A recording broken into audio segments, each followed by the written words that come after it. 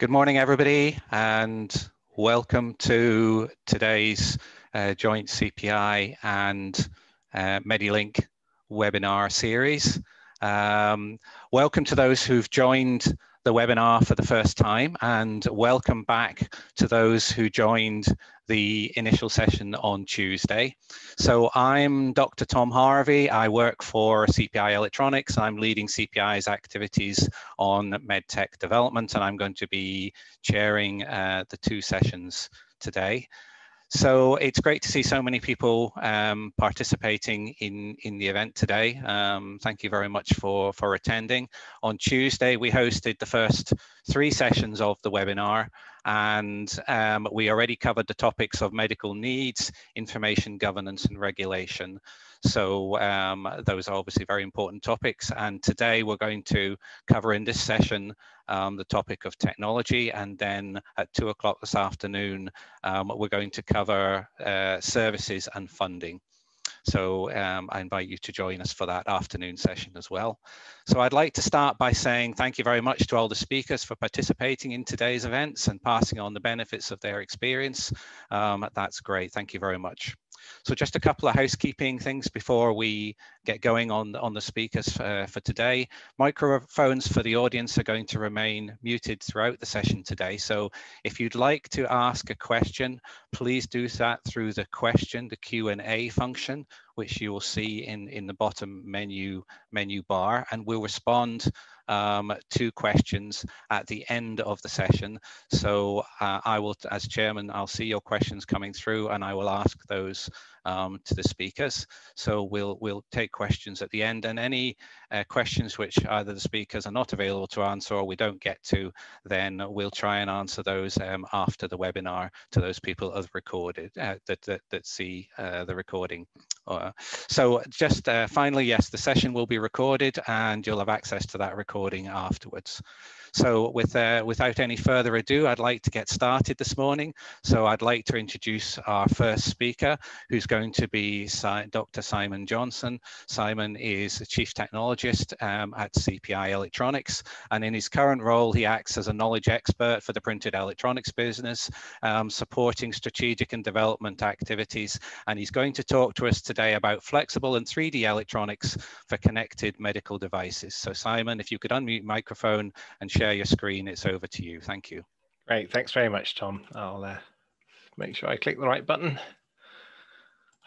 There we go. Hopefully you've got a Yes, that's coming through. Starting Thank slide. You, Excellent. Good. Okay. Well, well, thanks very much for the introduction and, and uh, good morning to everybody.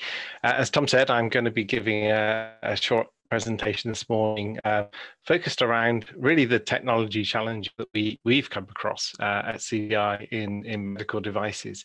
Um, medical devices is one area that we do get quite a lot of inquiries and, uh, and do a fair bit of work with in, with, with clients. We've come up with some uh, some interesting uh, devices and products over the last uh, uh few years, and I'm going to go through a few case studies which will explain some of the interesting challenges that we've we've seen over over the time. Um, okay, so there's the the introductory slide. I won't uh, bore you bore you with what goes on at CPI, but do feel free to to dig into our website and and, uh, and ask later if if you are interested to find out what we do. But uh, essentially, we're here as a, a, support organisation to to help companies understand technologies and, and what can be done with them. Okay, so let's kick off with the question. What, what are the technology challenges of medical devices? Um, these are things that we've seen. Okay, this is not an exhaustive list, uh, but these are the, the, the areas that we've come across with clients in discussion and, and developments to, to understand where the, the real key technical challenges are. And one of the biggest ones we, we often find is, is the form factor, what your product design is going to be like. It, in medical devices, it's often very necessary to uh, create very small compact devices, very lightweight, maybe wearable devices. And so those sort of form factors can be quite a challenge for conventional electronics. There often a need for these things to be very mobile. So uh, they need a power source that is uh, mobile as well. You can't plug many of these devices in. Um, and sometimes they have to do quite a bit of, of uh, electronics calculation, microprocessors running at high speed, communications, and so power, uh, power consumption can be quite a challenge. They also need to be very robust because the environments that these uh, devices are used in can be pretty challenging. Uh, washable uh, devices, for example, things like a wearable shirt that's doing EMG that then has to be washed regularly. Uh, those sort of challenges can be quite quite uh, serious. Connectivity is a, is a major issue with these these sort of devices because just as you don't want power to be plugged in, you don't want uh, data connectivity to be plugged in. And so wireless connectivity is, is a fundamental part of these devices most of the time. And so making sure you've got good connection indoors and outdoors, uh, making sure you've got a secure connection that is always going to be there when you need it. Some of these things might be quite critical and, and need to be uh, re reliable and, and, and there when when they can be guaranteed to be there, for example. Uh, and also the, the data standards that you use for, for communicating data between different systems um, are, are often quite, uh, quite challenging to, to make sure there's commonality between those getting on to more, more sort of soft areas of, of things like uh, ease of use, uh, fundamental part of a, a, good product design is something that is easy to use. And, and, often the devices that we're looking at here are quite technical. And so there's a, a, a, challenge between making something that is very technical and does a very complex and technical task and making it very simple to use because many of the uh, customers, people who are using these things are not necessarily technically competent. Um, and then we get into very soft areas that are not really so much technology as, as to do with use cases to how these things are used, but how the data is collected um, from from a user. Um, uh, we have a pill pack, for example, which we'll come on to later, that, that stores uh, when pills were taken. How do we get that data back from the user uh, and guarantee that we get it in, in the right time and, and, in the right way? Um, and uh, how do we make these devices as inconspicuous, unobtrusive as possible. We don't want them interfering with people's daily life because that affects the last point that I've got here, which is adoption. Because if they are a pain to use and a nuisance, they won't get used. And, and that can seriously compromise the, the benefits that can be gained from these things. And the adoption is important, not just for consumers, but for professionals, finding that they are beneficial and, and easy to use, uh, and manufacturers getting some benefit from these things that, that that's a, a, very quick summary of some of the challenges that we found over the over the years in, in working in medical devices. And one of the approaches that we've taken to solving some of those is to use um, uh, non-conventional electronics forms. The slide here shows a set of uh, PCBs. Everything that you have that is electronics pretty much is made on a printed circuit board. It's a rigid piece of epoxy with layers of, of conductors in it and a whole set of rigid components uh, soldered onto the top of it and, well, maybe both sides very commonly. This technology is fantastic. I mean, it's been around 50, 60, 70 years um, and has been evolved to a point where it's incredibly cheap, uh, incredibly technically competent. It can do all sorts of very sophisticated things and allow us to connect up very complex systems. But one of its fundamental challenges is that PCBs are, are rigid pieces of, of epoxy. Um, they're not the lightest of things. They can be quite, quite heavyweight um, and they always require some sort of interconnection. Most of these things require quite complex connectivity. Um, but fundamentally they're rigid bits of epoxy that, that don't necessarily conform to being worn on the shirt uh, around a, maybe a throat if you've got a dressing or something like this. Um, they're not comfortable. So one of the approaches we take at CPI is to make use of alternative forms of assembly and manufacture for electronics devices. And um, this slide here illustrates some of the approaches that we take fundamentally, we, we do a lot of bendable, flexible electronics. So instead of using a rigid uh, printed circuit board as the substrate to build your, your circuit on, we use a, a flexible piece of film, maybe a, a 35 micron thick PET, uh, something like that, incredibly thin and flexible that can easily conform to curved surfaces. Um, we could even make use of, of, stretchable materials like TPUs and so on, uh, or fabrics even, and build circuits on those. So we can eliminate this rigid PCB, which frees up a lot of uh, constraints in the design of, of products. Uh, we can also build electronics into product parts. So actually embedding components into plastic parts or building them on a surface that can be formed uh, into 2D, 2.5D or, or 3D shapes. All of these approaches mean that we are no longer constrained by the form factor of a conventional PCB. And that does have a massive impact on the usability and, and many of the challenges that I, I mentioned earlier. So this approach we call flexible and structural electronics. And I will just very quickly explain a little bit more about that. So the flexible structural makes a combination, or it's a combination of two electronics technologies. We use additive technologies, as they're called, uh, printing essentially, to, to bring together conventional electronic components and these printed uh, electronic systems on flexible, stretchable, or 3D surfaces. And this approach has, has the benefit of bringing together these two uh, technologies. So we've got the, the massive uh, investment in conventional components that gives us incredibly powerful little microprocessors in, in little one millimeter square bits of silicon. Um, remarkably low cost, remarkably powerful that can do all sorts of measurements and data transmission and, and the like. But we combine that with these these flexible substrates and flexible sensing in, in indeed and various other forms of, of different sorts of components and circuits. And by combining those two, you really get the best of both worlds. You get a free form factor that allows you to create products that can be easily uh, adapted to very small medical devices or wearable devices, that type of thing but you've got the benefit of the, uh, the, the, the, evolution of electronics over the last uh, 60 years or so. And on the right there, you see a couple of examples. We'll, we'll, we'll see these frequently throughout the, the presentation. Things like smart dressing on the bottom right there uh, a, crash helmet that's got sensing uh, built into it and uh, at the top middle. And then on the, the center left we've got a, a, smart pill pack which can can log when when things are taken. We also do all sorts of other projects such as extremely stylish jeans that fortunately i didn't have to wear even though we we helped to make them.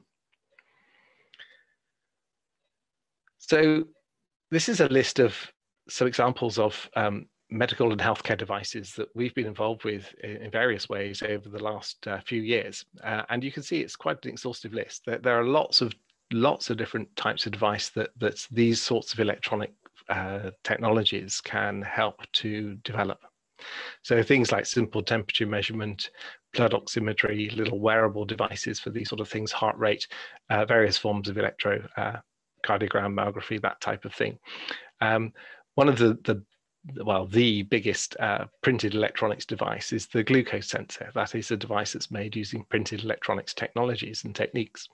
Uh, and there are uh, many, many, many millions of those made every, every year. Um, but then we can do things like breath analysis, breathing rate, um, step and, and, and gait of, of, uh, of, people as they're walking around, trying to work out, make sure they're, they're um, joints are working properly, this type of thing, uh, right the way down to sort of trauma and, and, wound monitoring, which can be done using these techniques. So we can make a smart dressing that can go around and, and monitor what's going on inside the dressing so it doesn't have to be removed to check that it's still okay in there and then put back on. The, the, the, the smart dressing can do the, the monitoring itself. So all of these technologies have sort of enabled this type of, uh, uh, this breadth really of different types of device. Just to give an idea of the, the, a bit more detail on that, some of the types of sensing that we can produce as well. So I mentioned that we um, we combine conventional components, uh, which might be things like microprocessors, but there might be sensor integrated circuits, so integrated circuits that can sense, say, accelerometers and, and uh, uh, things like temperature and humidity. But also we can print the sensors for those sorts of devices. And so the um, list here shows some of the types of devices that can be printed. So temperature, uh, we can actually print a temperature sensor. Uh, it looks like a little little black blob, and actually there isn't one on this particular uh, slide. Uh, over on the right here, we've got uh, pressure sensors. Here we've got strain gauges. This is, uh, um, of course, a, a glucose strip. Um, this is a form of tem temperature sensor in the middle here. Um, in fact, that one is a, a temperature and a hum humidity sensor in the center there. Um, so all forms of various forms of sensing device can be printed as well as uh, making use of conventional components. Nice thing is that we end up with uh, very thin, conformable, lightweight uh, systems that uh, are very uh, convenient to wear, but also convenient to build into other products. Just a little bit more about the technology. There's essentially two types of technology that I'm going to be covering in, in or illustrating in this, this presentation. Uh, the first is film or paper-based uh, electronics. And, and here what we do is that we build the circuit conducting layers onto a film. Uh, we normally do that with conventional additive printing techniques. So things like screen printing that might be used, say, to produce uh, um, a t-shirt, uh, that type of printing process, or flexographic or other forms of rotary printing that are used in, in, in, in industry to make magazines or all sorts of things like that. Those sorts of conventional printing processes can be used with conducting inks. So the exa examples on the right here, you see, uh, these are all silver printed circuits. So it's a, an ink that contains silver flake. Um, and when it dries, it gives you a, a conducting film that is patterned to exactly the circuit that you need.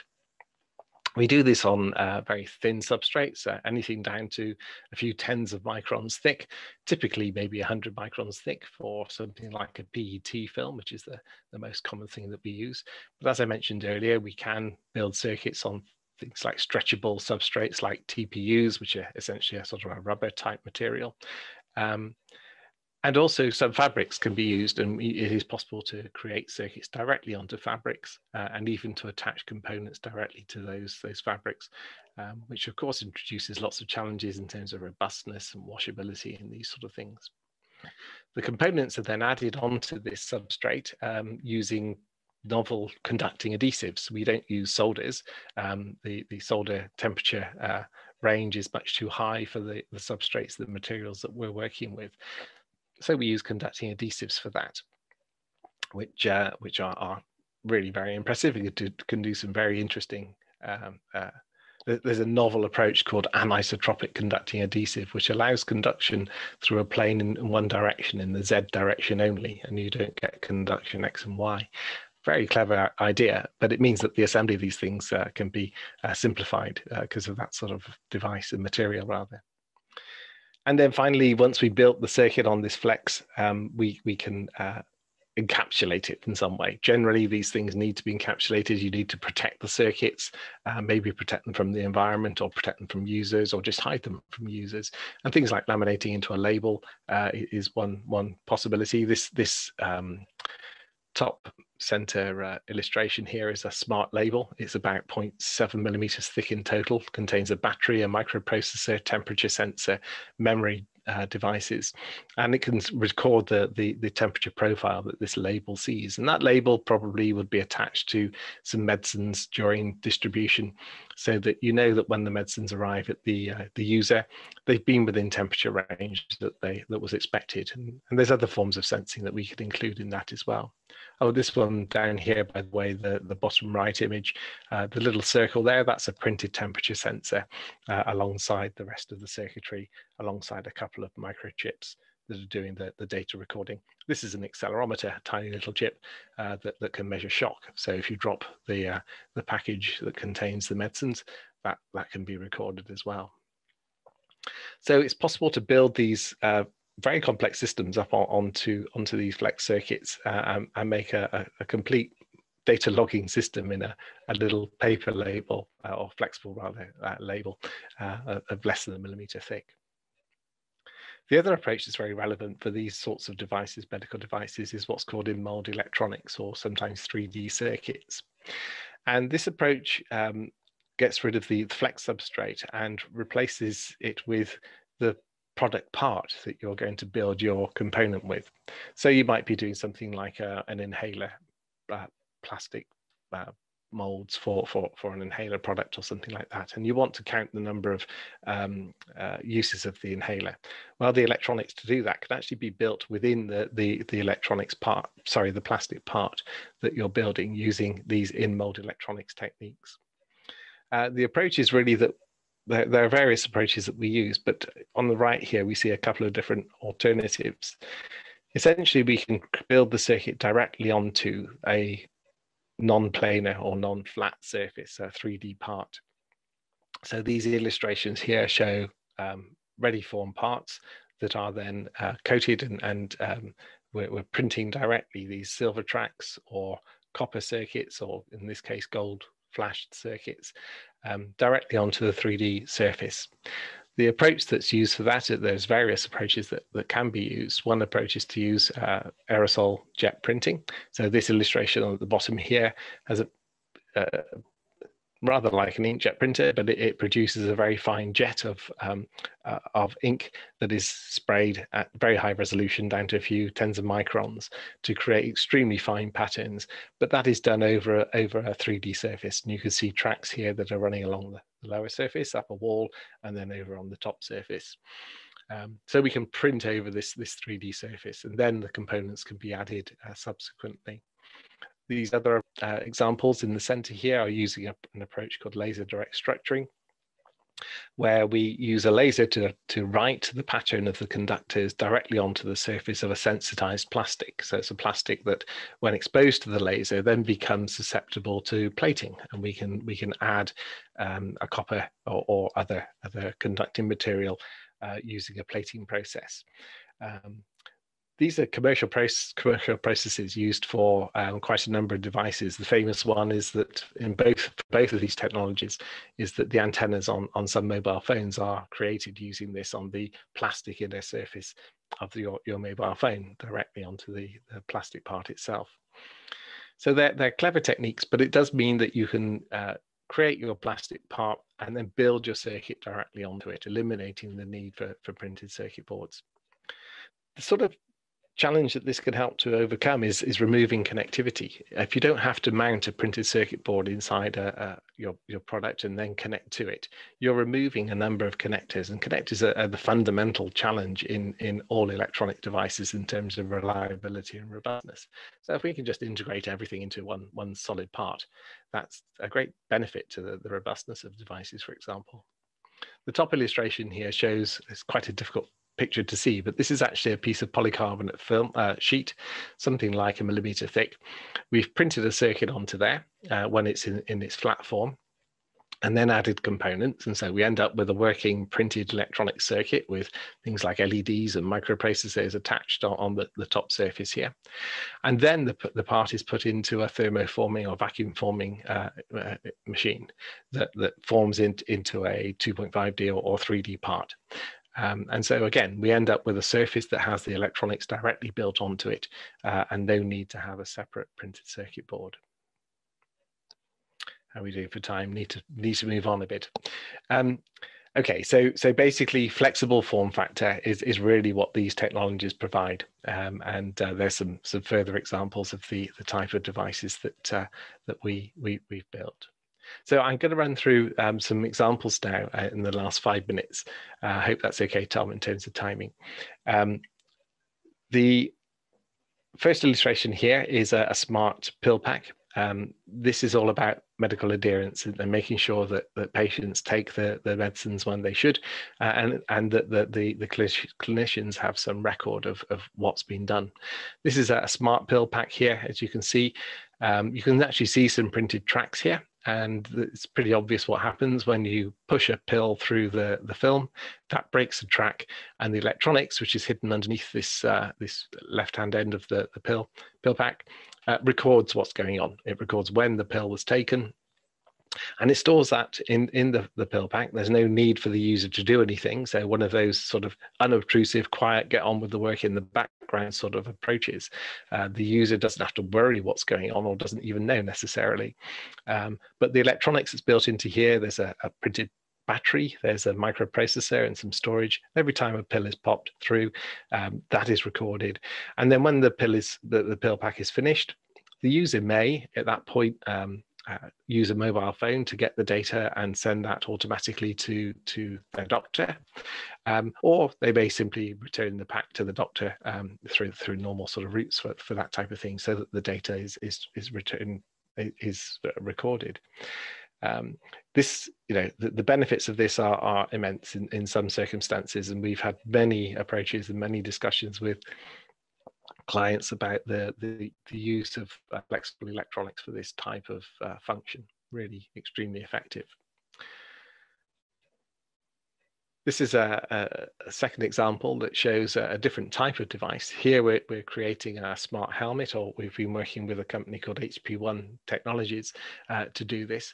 This is to create a, a, pressure sensor array on the inside surface of a crash helmet, so that if there is, um, uh, you have an accident, you fall off your bike and, and crack your head on the, the road, um, the impact, uh, the trauma is recorded by uh, by this helmet, and um, the the the idea of this actually came from a chap within the company who who had a, a cycle accident, quite a severe impact to his head, um, and realised that it would be useful to the clinicians to know more about what had happened to him. So came up with this idea, and this is using printing technologies here. So all of these are this is an array of printed sensors, and you can see a, a different pattern on the inside here, something like 200 or over 200 sensors on this, this inner surface here, um, about 64 on this one, and connected into a conventional bit of electronics uh, that um, allows the um, the, the the doctors in this case at the end of uh, uh, end, end use sort of point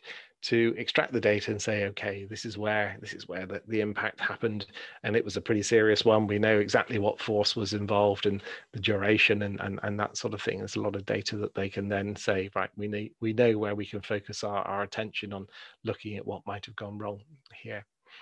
Very clever approach and a very smart idea. And again robustness is enhanced by this sort of technology if you had to connect up 64 different uh, uh, pressure sensors on the inside of a helmet, the wiring would be absurd. Uh, so you know, th this type of approach, a monolithic approach, if you like, to creating these sensor sensor arrays, is uh, is very effective. And this um, this will show uh, if the video works. Uh, okay, is not going to work for some reason. But uh, this shows a crash, uh, a cricket helmet in this case, uh, being impacted, and this is the the pressure sensor sort of pattern that's been interpolated from the the sensor array. Um, and then the the third example is uh, a smart label. Um, this is a, a, device that we've done multiple uh, sort of um, different implementations of. Um, it's a device that can log temperature or shock or humidity or a, a, new variant that we're looking at doing now it can, can also record light exposure. So that while medicines are being shipped from uh, the pharmacy to the end user or, or, from the drugs manufacturer to the end user um, the data is recorded. And the idea which is uh, sort of summarized here is that we're trying to sense in this case it was uh, temperature and humidity wanted to log data for a period of up to a month, we know that these things in fact can go for, for, longer than that. And you're probably wanting to record temperature maybe once every 15 minutes or something like that. Um, want to make it very simple to use. And, and in this case, we made use of uh, NFC and mobile phones to extract the data. So at any point along the supply chain from the, the pharmacy through to the end user, someone with an appropriate app on a phone could tap on the label. Sorry, here's, here's one that I, here's sort of an example of the type of thing that um, we, have built with these.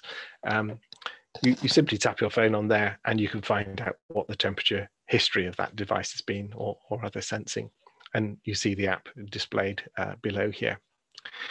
I'm not going to go into any detail here, but I just want to illustrate that these are sophisticated devices. This is a complete microprocessor system. Okay, it's an ARM microprocessor core. Uh, it's got power management, it's got a, an array of sensors, it's got uh, local data storage and power management, and the microprocessor that can do very sophisticated edge processing, as it's called. So these things can be very sophisticated and complex.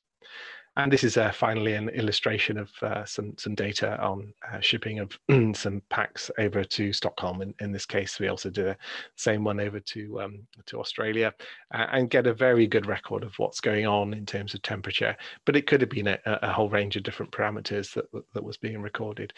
And, you know, proves the verif proves the veracity of the, the drugs once they get to the, the final location. They're still safe to use and the, things like clinical trials, it proves that they are still within spec and, and uh, therefore should be should be doing what they're supposed to do.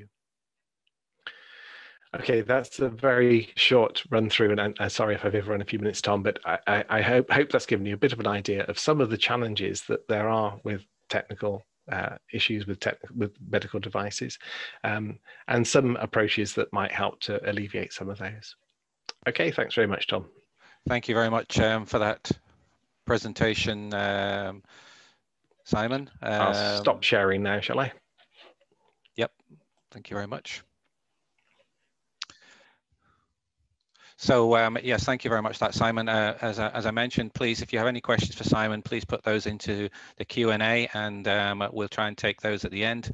Um, so um, uh, Simon's very enthusiastic about the subject. You see, he's run over a little bit, but um, I hope we can get back on time later. Uh, so I'd like to move straight away to introduce our next speaker, please. So um, can I introduce Tony Bedford?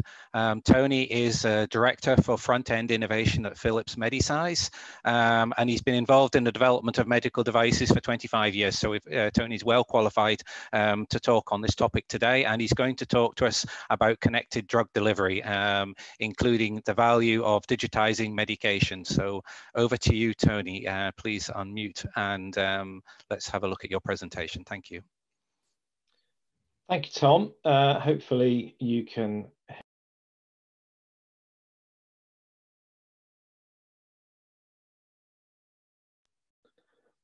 Okay, you actually just muted me there, Tom. So we're playing a little bit of speaker speaker tag. Um, hopefully you can hear me now.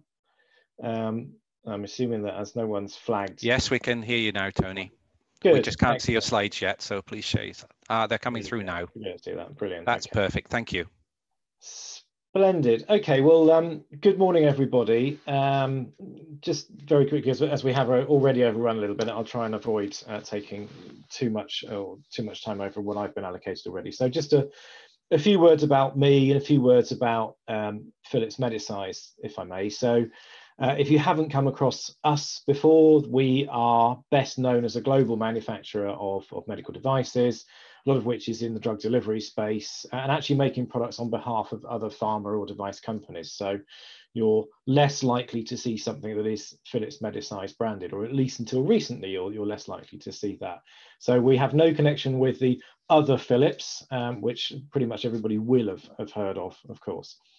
Um, so we also have an innovation arm of which I'm part. So as, as Tom said in, in his introduction, uh, my background is, is product design. I've been involved in product design for medical devices for, uh, yeah, afraid to say 25 years. Um, feels like a frighteningly long time, um, mostly based down in the Cambridge region, which uh, some of you I'm sure will be aware is a, a little bit of a hub for that sort of activity, but not exclusively so.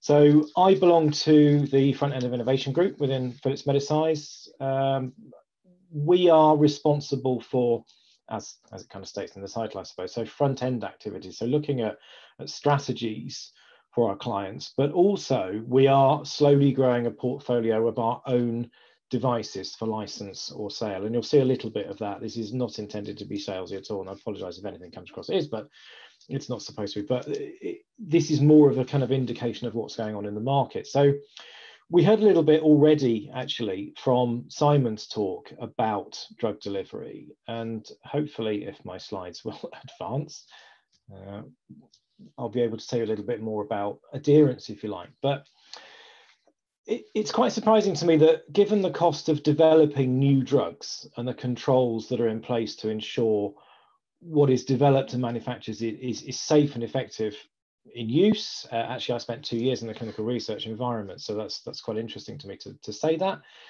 We actually don't give that much attention to what happens outside the clinic, um, particularly around medication non-adherence.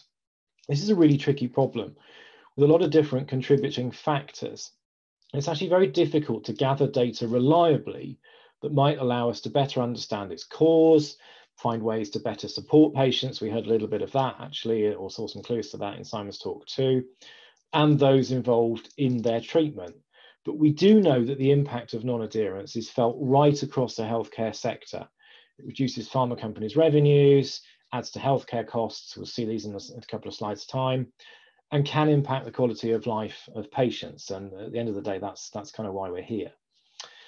So these two rather alarming charts, in fact, show on the left the percentage rates of adherence within a number of, of selected conditions, mostly, as you can see, ranging between about half and just less than two thirds of patients, and that's in the diabetes space, that bottom one there, actually taking their medication. So even for very serious long-term conditions, drop off can um, typically occur after, occur after just three months of beginning to take those medications, which is really quite a frightening thing. So keeping patients on their meds as long as we possibly can, helping them to ensure that they stay on their meds for all time if necessary is, is a really important thing. Now to the right, the data again from 2015, so uh, don't have up-to-date position of this, but I suspect it hasn't changed very much, shows the cost per patient of non-adherence for some selected conditions. Across all conditions, this ranges from a staggering $13,000 up to $26,000. And those costs are made up of pharmacy costs, uh, inpatient costs, outpatient costs, ED, emergency department visits, you know, general medical costs and, and hospitalization costs. So there's a huge burden just on the healthcare providers themselves. So those costs that we saw on the previous slide, of course, they all relate to, as I say, the provision of healthcare. But in addition to that, there is a significant loss of revenue uh, from discontinued or even unclaimed prescriptions. We like to call it as money being left on the table um, on the part of the pharmaceutical companies because they simply don't know if their drugs are actually being prescribed and, and therefore used.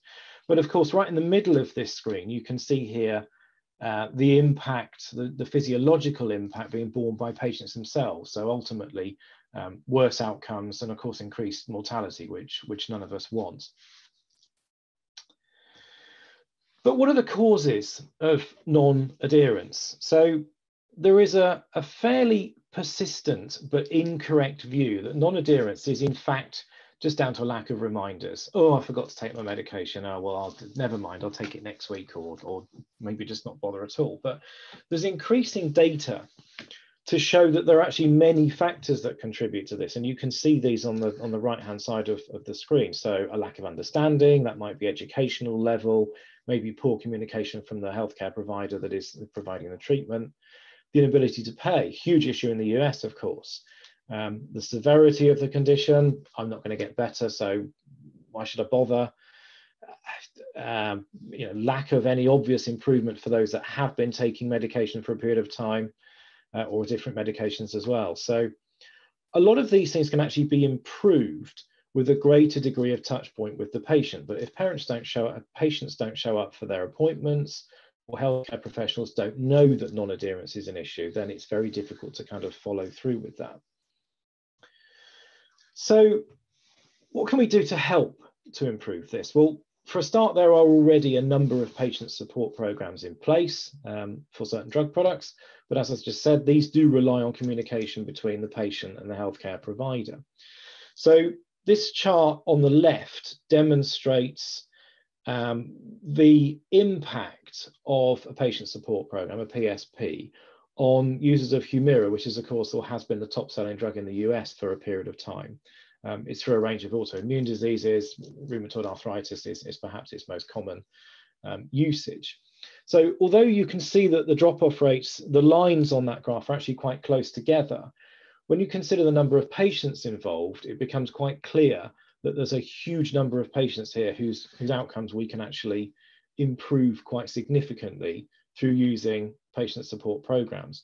And then to the right, we can see the financial impact of this, and in particular, that the medical costs involved are dropping quite drastically. So again, it's a really important thing to try and get a grasp on. So over the past few years, we've seen digital technologies. We've seen some already in, in Simon's excellent talk just a few moments ago. Um, we've seen these technologies developing within the healthcare industry, although it's still not particularly joined up, particularly in the sense that it can be local or it can be regional with, again, focusing on the US, things like proprietary electronic medical records, electronic prescriptions, and electronic transfer of, of, diagnostic data. Once you get beyond that regional setting, it can be a little bit difficult to transfer data from one to the other. But right now, medication is only linked into the electronic systems that we have via clinical consultations. That's manual input effectively, and through approaches such as looking at prescription coverage as well. But we are beginning to see a small number of medications just being brought into this digital landscape through the use of connected drug delivery devices capable of detecting and communicating that a dose has been administered. And this is a big step in the direction that we want to be moving in. So just a quick slide on, this is a snapshot. Um, I know that one of my uh, friends throughout the industry is, is watching this talk and he will probably spot that his product isn't on there. Apologies, wasn't deliberate. But we've seen a few connected drug delivery device approvals coming through and right across the board in terms of um, routes of administration, if you like. So top left, we can see a subcutaneous delivery or parenteral delivery. Top right, we can see an inhaler and bottom, bottom right as well.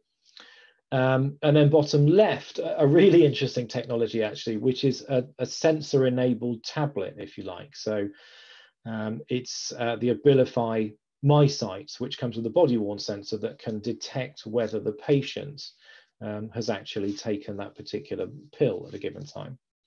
Uh, I won't dwell on these, they're, they're just some, some quick examples. But if we're trying to create a system that provides the benefits of having connectivity, we need to build a, a, kind of digital architecture, if you like, or a digital health architecture. Um, we believe it has three main pillars, and I think most of our, our, our, peers throughout the industry who are all also working on this would agree with that. So first of all, you have the connected device where you know that device could be an inhaler, it could be a parenteral or a subcutaneous uh, injection device. They all fit over on this side. So these are the patient interactive type products. This could also in, incorporate other devices, spirometers potentially for measuring lung flow function, that sort of thing. So additional diagnostic and evaluation data that can be fed into the system. Then on the right-hand side of the screen, uh, you can see the cloud platform, which is where all that healthcare information is being managed for patients. Any system that we have of this nature must meet stringent regulatory standards. Um, we must ensure data security and integrity. Uh, and we must be able to gain analytics, if you like, so break down that data and, and, use it usefully, if you like. And then finally, you've got the middle section on screen there, which provides the digital interfaces for patients and clinicians to uh, either engage with the digital service or indeed engage with one another via a patient support program or possibly even in, in mainstream healthcare as well. So this layer will hold, for example, commercial dashboards that might allow pharmaceutical companies to assess um, or monitor the launch of their drug products and the effectiveness of the services and the, and the solutions that they're developing as well. Um, these can be app, these can be PC based as you can, you can see kind of implied from the screen. So an example of that, if I just dwell on this one very briefly, this is the Bayer Beta Connect for multiple sclerosis patients. This is a product that, that we developed on behalf of Bayer.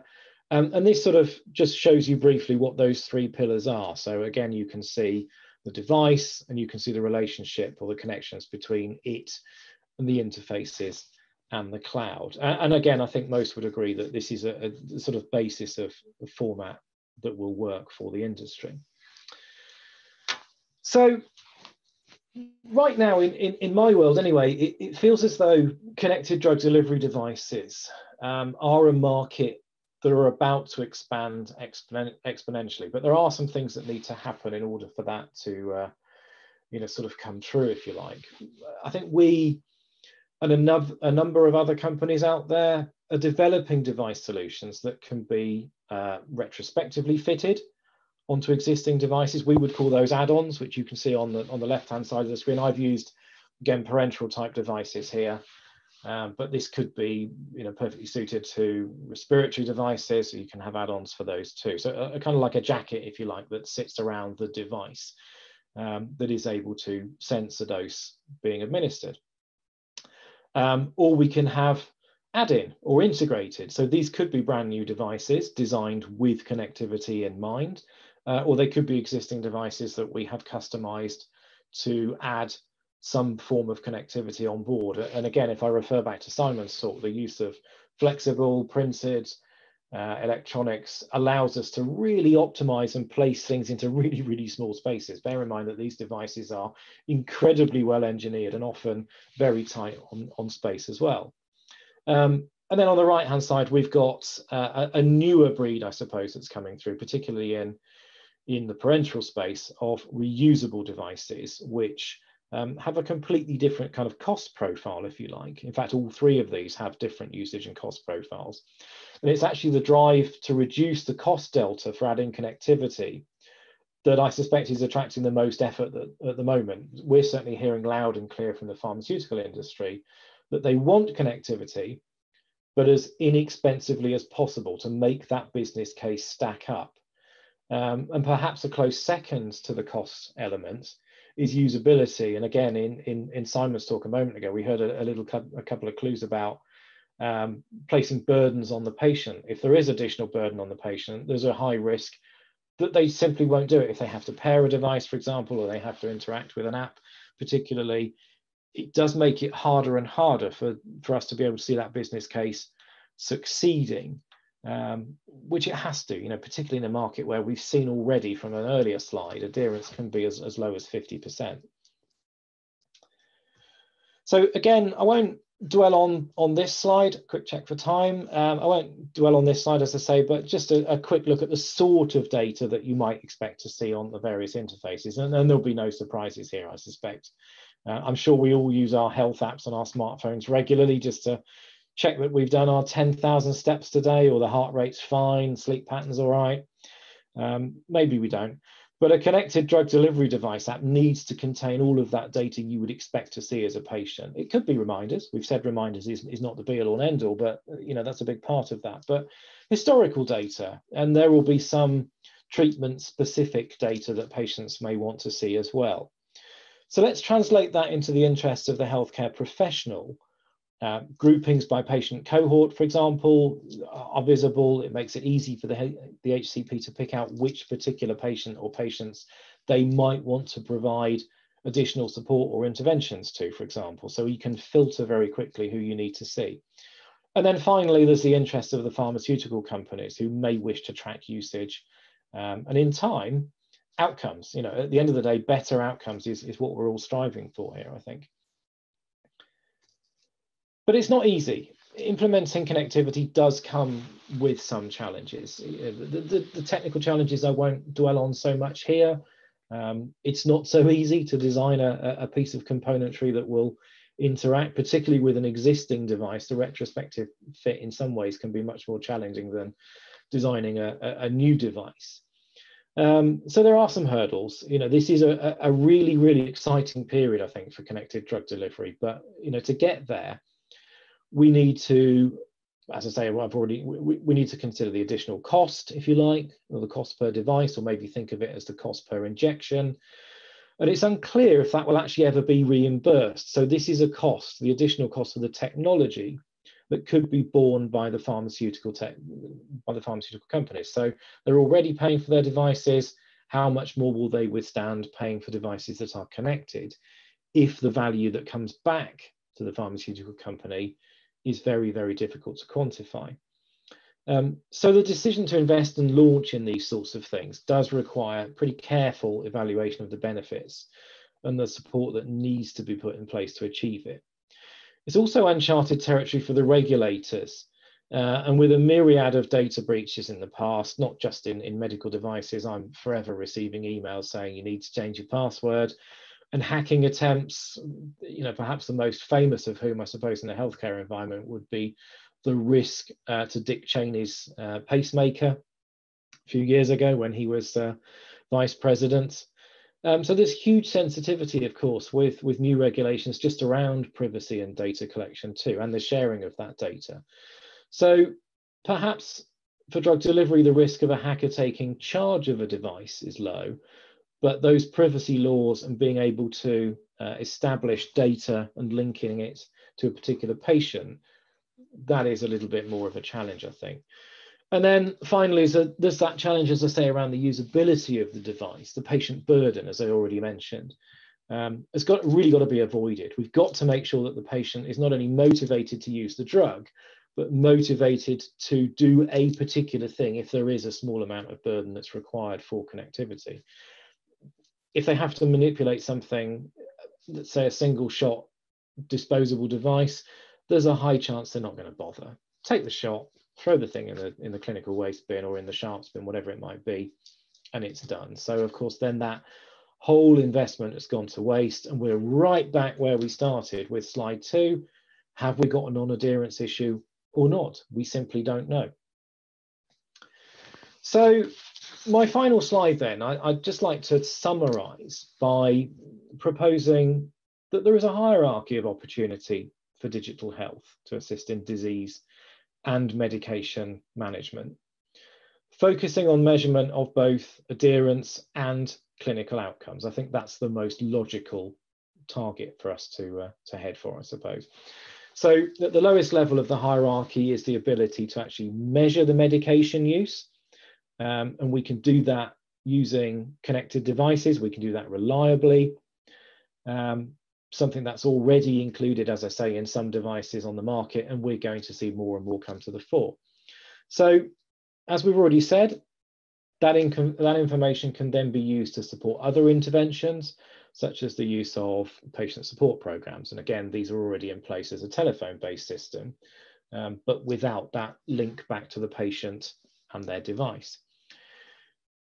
It can allow clinicians to provide timely support and valuable support to their patients. If we can do that in as close to real time as possible, then we can prevent exacerbations, for example, which is a really good thing to be able to do. So that information can even be provided back to the, the patient via an app. So do we actually need to have telephone calls? Do we need to follow through in that way? But anything that we can do that can allow patients to self-support better is going to be a good thing.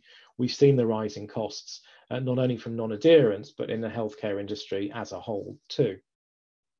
So moving a little bit further up the hierarchy, we can then start to focus on disease management by combining medication with other information around outcomes. So for example, in respiratory disease, as I said, the use of spirometry might be able to make a, a, a better assessment of how the, the, how the disease is actually developing in a particular patient.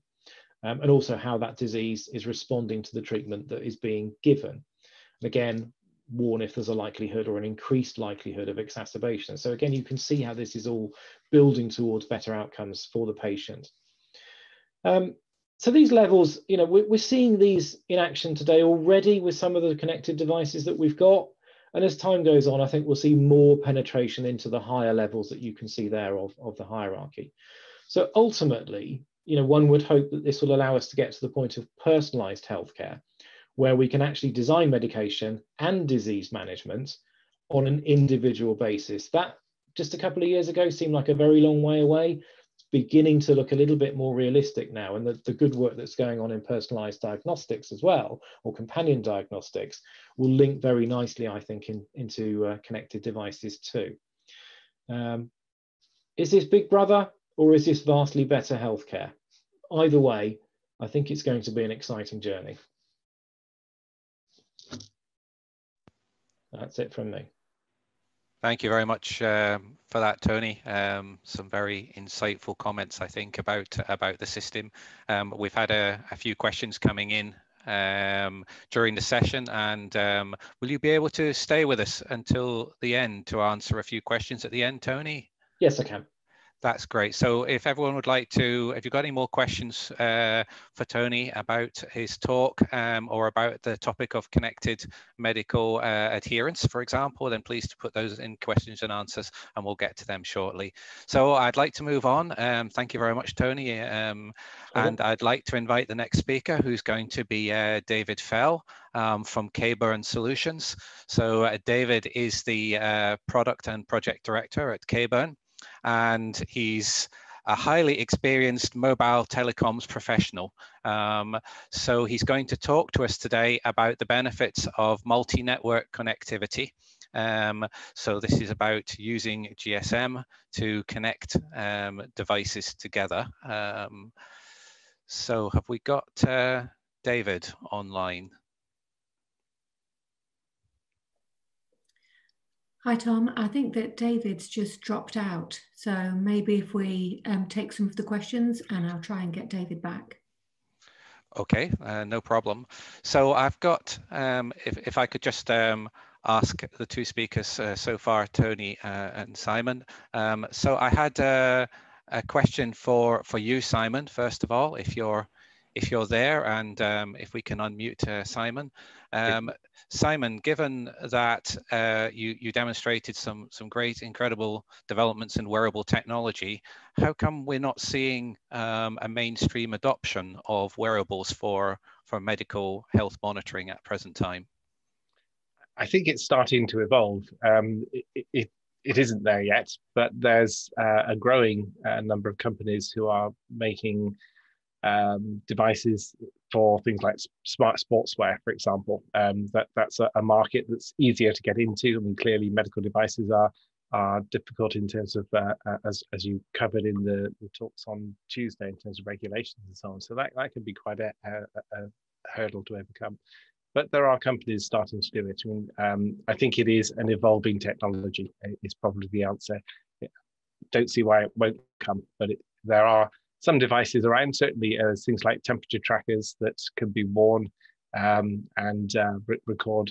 Uh, thanks, and and record um, temperature over over time and things like for for children and so on. So there are devices around. It's just uh, a, a new market, really. I think. Okay, thank you, Simon. So I have another question for for Tony. Um, Tony, um, the question was, uh, you mentioned about um, pharma companies and who, who pays um, for the, the connected device and the information. Um, so the questioner is asking, um, could the pharma companies use the information gathered from connected devices for demand signals and the like in the supply network? The quick answer is, is yes. Um, the longer answer is not yet simply because of, of the volumes of data. But if we look at, so the example that I talked a little bit more about was the Bayer Beta Connect for multiple sclerosis.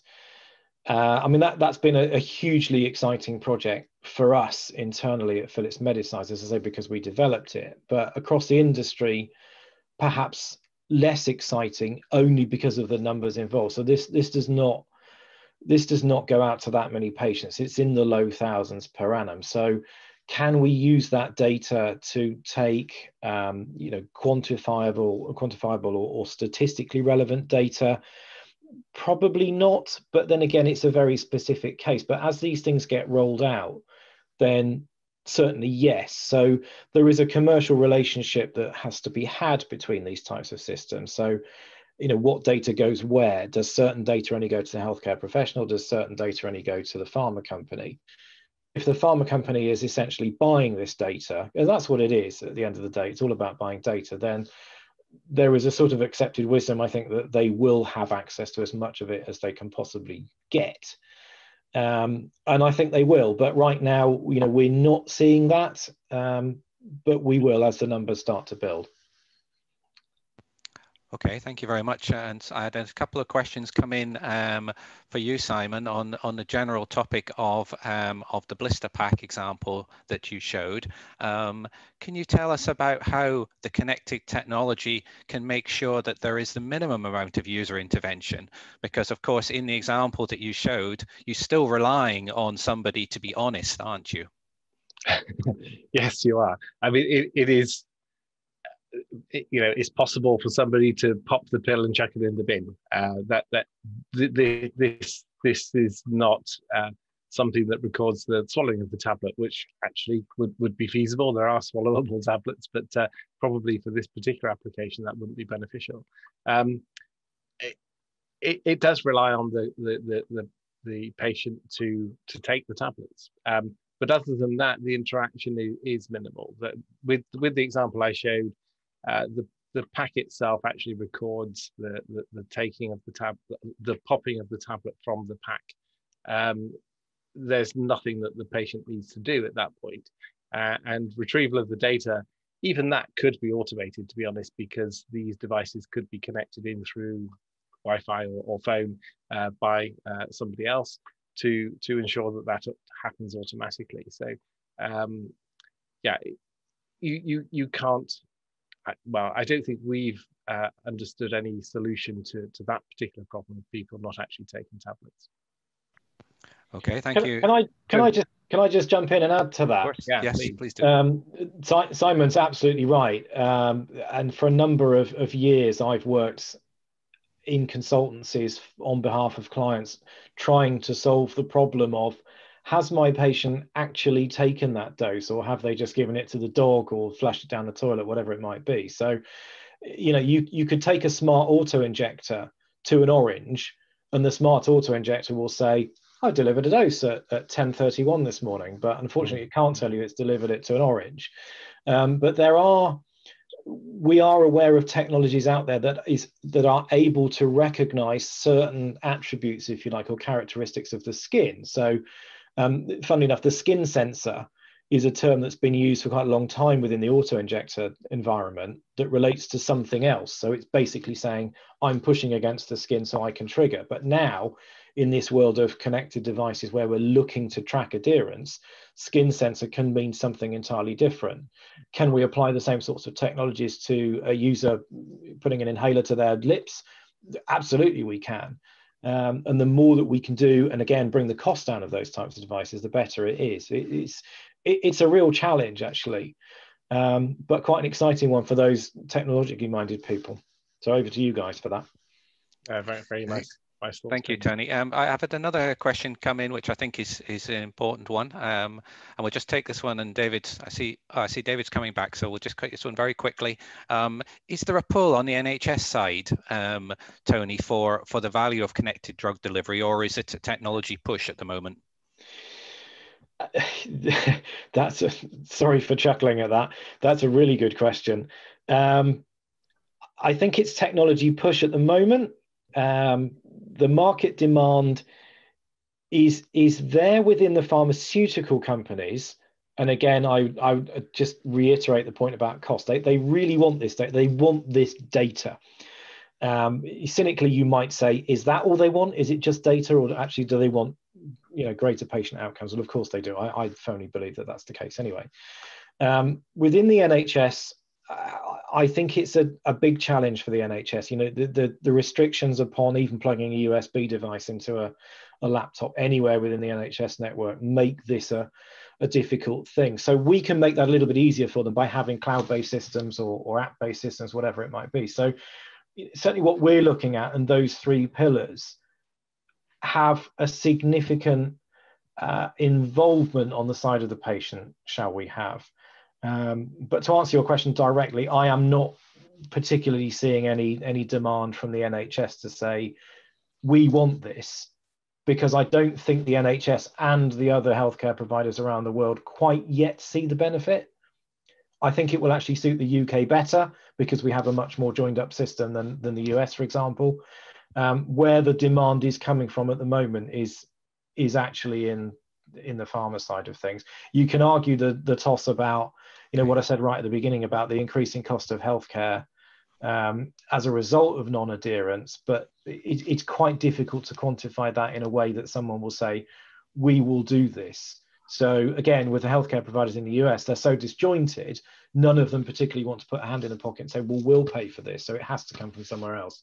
Okay, thank you very much. So welcome back, David. Um, so um, sorry for had one or two technical problems, and I hope now we can move on to your talk. So um, if I could ask the events organizer to uh, um, unmute um, David. Hi there, David. And David's going to talk to us um, today about the benefits of multi-network connectivity, uh, a bit about GSM connectivity. So over to you, David, uh, if you'd like to share your screen now.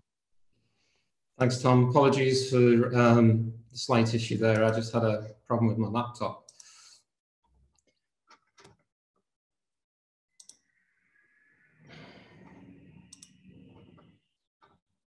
Can everybody see that slide? Yes, we're seeing that now. Thank you, David. Go ahead.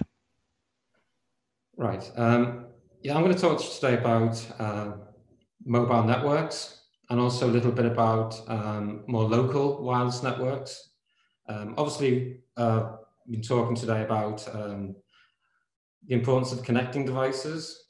And, you know, whilst a lot of these devices are doing very clever things, um, we also need to obviously make sure that they can connect um, to their end cloud services or the, you know, the servers in a, in a secure and resilient way. So I'm going to be talking about some of the technical details around that and um, hopefully that will be of interest to people. So I suppose there's two kind of aspects to connecting things wirelessly. There's the what you might classify as the wide area network, um, and also the local area network.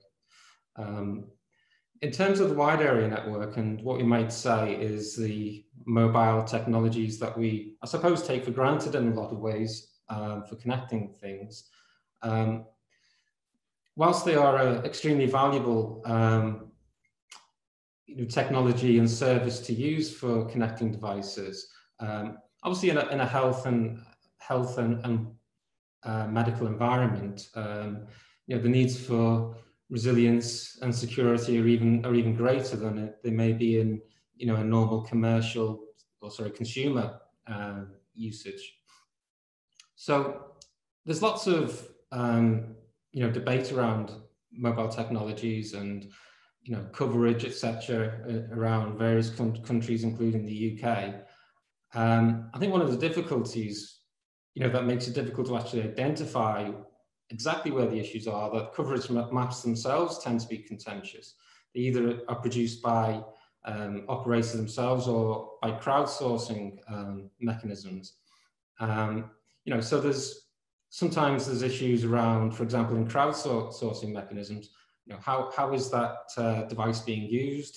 What kind of technology is it using? Um, is it indoor? Is it outdoor? Sometimes those things aren't quite clear. So you can get um, maybe not quite, um, you know, the the, you know, the, the, sort of real um, situation as it is for the for the user, um, kind of reflected in those. Indoor coverage can also be worse than outdoor. Um, obviously, it depends on the nature of the building, but there are certain buildings which, in themselves, because of their construction, kind of create a Faraday cage effect. So that's something to consider.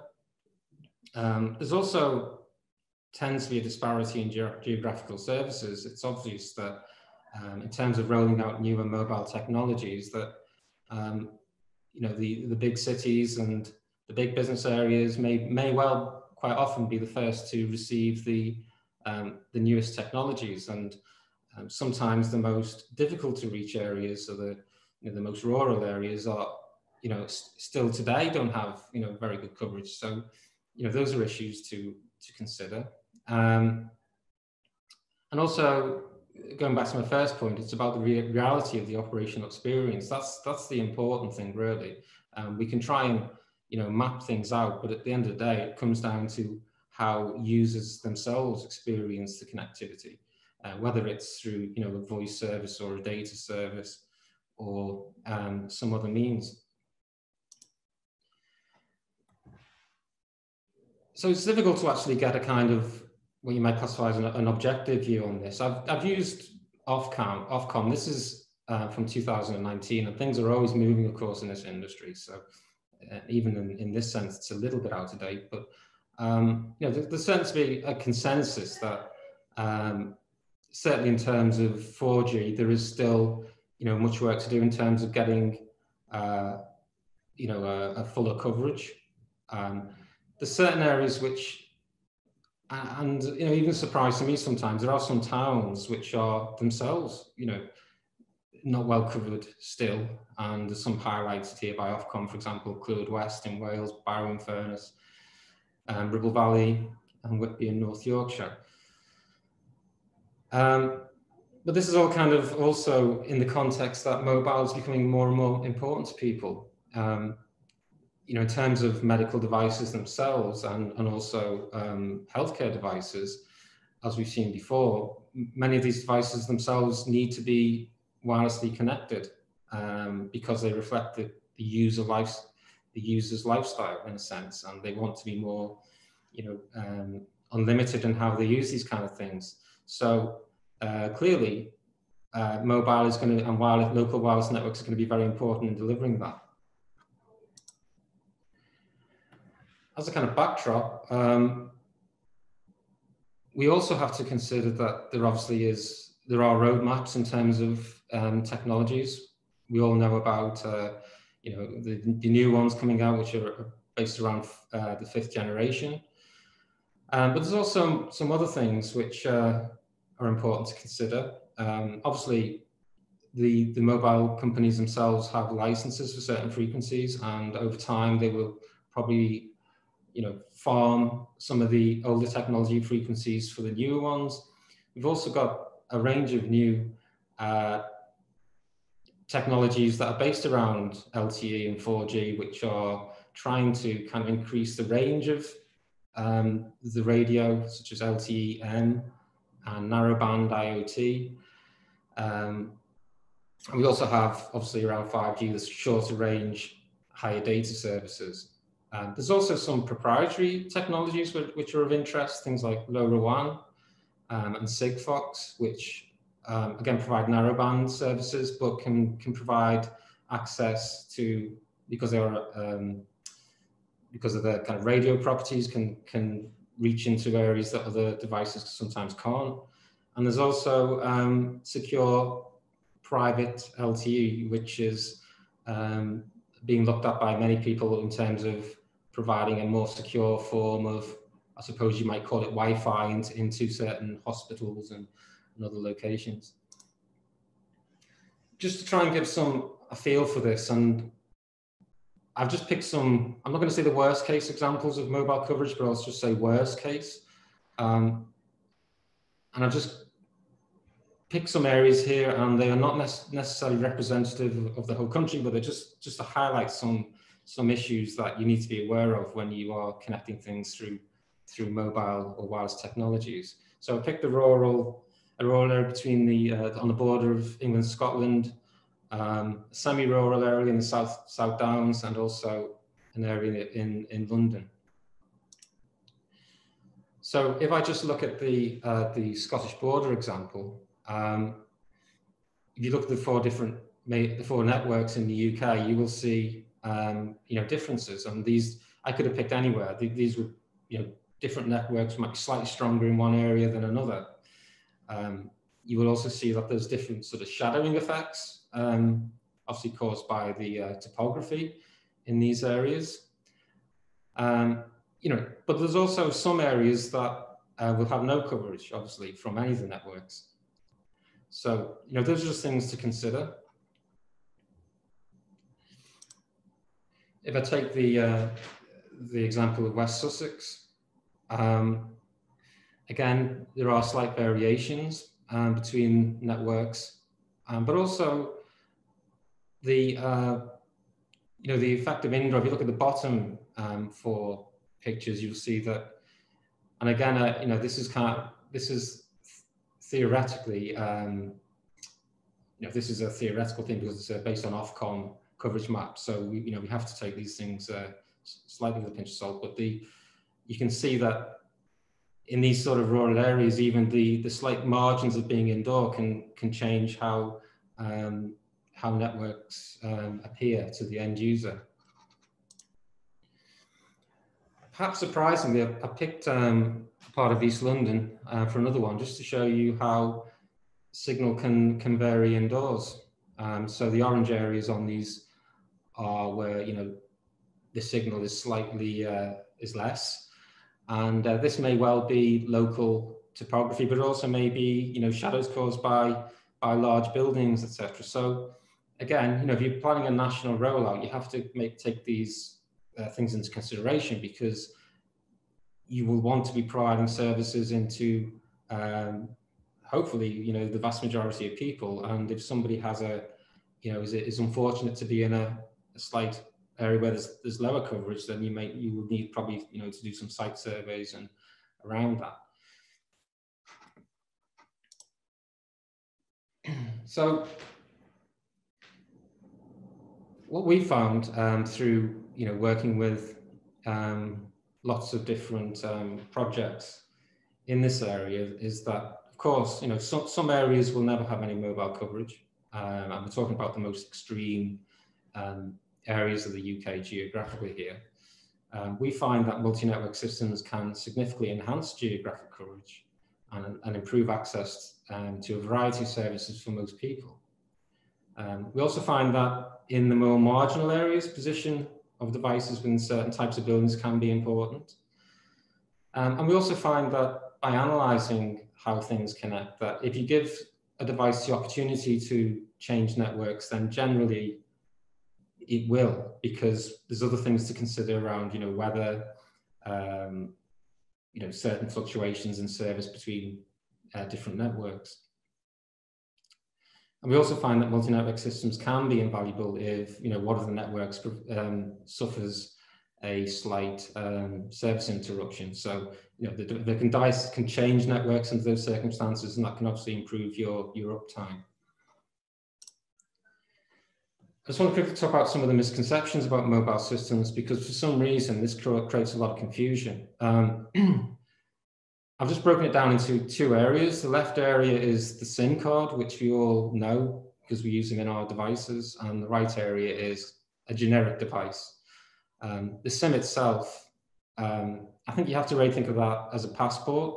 So that will give the device the capability to move on to a variety of different networks and that's that's effectively what does. You can put applets on and things to do you know more specialized things, but ultimately it's the device itself and its microprocessor and its logic um, that will um, will control how, how the device connects to various networks. And obviously, you know, some devices will have a battery and some will be mains power. So that can affect how devices wake up and, and connect and the kind of logic of how they operate as well, which can be very important. Um, so it's important in terms of connecting even to a single network to also understand that there's a variety of um, connections and protocols which are going on in these kind of complex services. So there's obviously the, the voice, the data, the SMS um, side of things, but there's also the signaling, which is, you know, the messaging which, which control the kind of sessions that you're having. Um, and they all are, you know, equally important. So, you know, there are a number of companies who provide multi-network services and um, they can allow devices the ability or the passport, I guess, that I would say, and to to connect to different networks, which can obviously help the resilience of those network of those device connections. Perhaps you know one of the one of the points of detail that's worth understanding though is if a device has the ability to connect and the signal to connect to a number of um, different networks, you may ask which one which one would it select? And this is really comes down to the logic that's within the device itself in, in many cases. So um, I think it's important if you if you're designing systems that are to work with the mobile networks is to understand that because um, you probably will want um, in most cases to use what we classify as the manual me mechanism, not the automatic. The automatic generally will look for the strongest signal. But that may not be the best um, signal for your type of application. So we tend to uh, recommend that people use the manual selection and have logic around that. They may, um, for example, using data service, they may uh, connect to a check connection to the service quickly, and then if that's okay, connect to that network. And if it doesn't, obviously move on to another one. So, um, you know, that's a key area to understand that quite often people think it will be the SIM that does that, but in most cases it will be the device itself. I'm just going to quickly run through two um, case studies of the use of multi-network, which I just think provide some interesting um, learnings, I guess. The first one is, is related to um, some um, use of multi-network within um, some lone health workers who are using a variety of devices for like ID tags, and for um, mobile phones and, and voice fobs, etc. And also a second one where we did a small um, proof of concept around home health monitoring, which was trying to understand the issues around using smart home and technologies, which is more data-based. Starting with the um, the health workers, um, we we we find that you know, I say using multi-network improves network connections and improves performance in most areas, um, and that you know across the various voice, SMS, and data services. Obviously, this can also help in terms of device management and configuration because most devices will have a maintenance function, um, you know, around firmware updates, etc. And quite often, they also as well having some sort of interactive service with um, end users. They also have um, some kind of automatic background processes like inactivity alerts, um, geofencing, um, fall detection, and also some, uh, you know, obviously connections to alarm receiving centers, etc., where you know the need to actually have um, that kind of backup. So yes, some of the learnings which I've already covered, but you know, in terms of it's important to understand the device network selection of, of you know how a device will work, so you can make sure that works for you. It's also important to understand that closed and open user groups um, can be important. You know how how open do you want the mobile, mobile network to be for you? Would you want to be very closed so you can control the numbers that can be, you know, dialed between, for example, so you don't get, you know, nuisance calls or, um, you know, messages coming in which you may not want and might interrupt the service. You may want messaging services which are configurable to each user so that they can direct people onto other members of their team, for example. Um, you may want, you know, enhanced device security, you know, in terms of uh, virtual private networks or or more. Um, we also find ourselves that's very important to have sophisticated forms of network monitoring so that you can know exactly what's going on on all the networks and you can, um, you know, uh, manage manage accordingly. Um, very important, obviously, things like geo redundancy, um, so that if, you know one location goes down, another will will take over. Multiple nodes, backups, and um, signaling infrastructure to make sure that um, you know you have that complete resiliency. Um, and we also think it's important to have some other features around this kind, these kind of services. Things like um, you can have uh, situations where you can measure approximately the, the location of somebody from the mass data. Um, you know, so if we find ourselves sometimes that within buildings, certain buildings, GPS doesn't work, of course, but you can find, you know, there are other mechanisms you can triangulate to, to find somebody. And the second, second uh, case study I just want to quickly go through is, a very small scale proof of concept, and we wanted to understand um, how local area network technologies such as Zigbee and Bluetooth, which are used in lots of medical devices and uh, home monitoring devices, could be used potentially in um, you know sort of health monitoring environment. Um, that was put through a, a, local gateway, which was mobile connected um, through a multi-network system. So we had things like uh, you know we had a blood pressure uh, sensor. We also had a, a, pulse monitor, weight scales, smoke alarms, uh, movement sensors. Uh, there was quality, smart plugs to know that activity was going on. And just in terms of an overall architecture that was going through the mobile networks, because these, these sites were actually in very um, remote locations. So we wanted to understand, you know, the issues around that. And they would be ingested um, through a cloud service and then um, administered um, and the, any key messages sent to, uh, you know, the alarm receiving centers or in interested parties. Um, what we found from this, just as some learning points, was that um, mobile coverage was was was was tend to be good, and there was no real issues around that. Um, but it's you know important to measure not only the GSM, the mobile wide area network performance, but also we found important to measure how devices themselves connect with their local gateway, um, because quite often people put things in in areas where they can't you know um, connect to the to the gateway, and that's that's important to know. So if it's on the right on the edge of, for example, Bluetooth range, you want to know that there's there's an intermittent um, break in that communication. Um, because we were connecting lots of people, uh, different devices, you know, medical devices and sort of smart home devices, um, we found that Bluetooth tended to be in, implemented in a um, more nuanced way than Zigbee, which perhaps is more standardized. So we found there was, you know, more kind of learning in terms of that and crafting the, the various communications.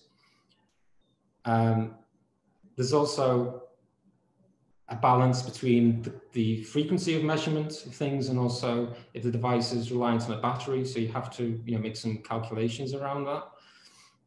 Um, and you know, even better if you can have um, remote monitoring systems which allow you to measure, um, you know, how how um, the state of batteries, for example, or the state of the device, if it hasn't got offline, etc. So you can take um, proactive decisions around that. And one of the big things I would say is that even small numbers of these devices, if they're reporting regularly, and create enormous quantities of data. And I think that's one of the big challenges going forward is going to be how we make sense of a lot of this kind of data and actually make it useful. So yeah, I guess some some more learnings from this. Um, I think one of the difficulties is knowing what's a routine and what isn't. Um, you know, you might have somebody who's having a lie in, in bed and they, they're getting contacted because they haven't got out of bed and that's their was their normal routine. But obviously, that's that's going to um, have a problem in terms of adoption if, if those kind of things become irritating. Um, and the decision making around these things therefore becomes critical because um, you know we involved nurse teams in, in some of these um, tests and you know, they were concerned that these kind of technologies could potentially place greater strain on on resources if you know they did the, the wrong sent the wrong type of messages or the wrong um, you know conclusions were drawn from them. Um, the other thing is, you know, in, in terms of you're sending alerts at certain times of the night, is the NHS or care services, are they able to cope with that?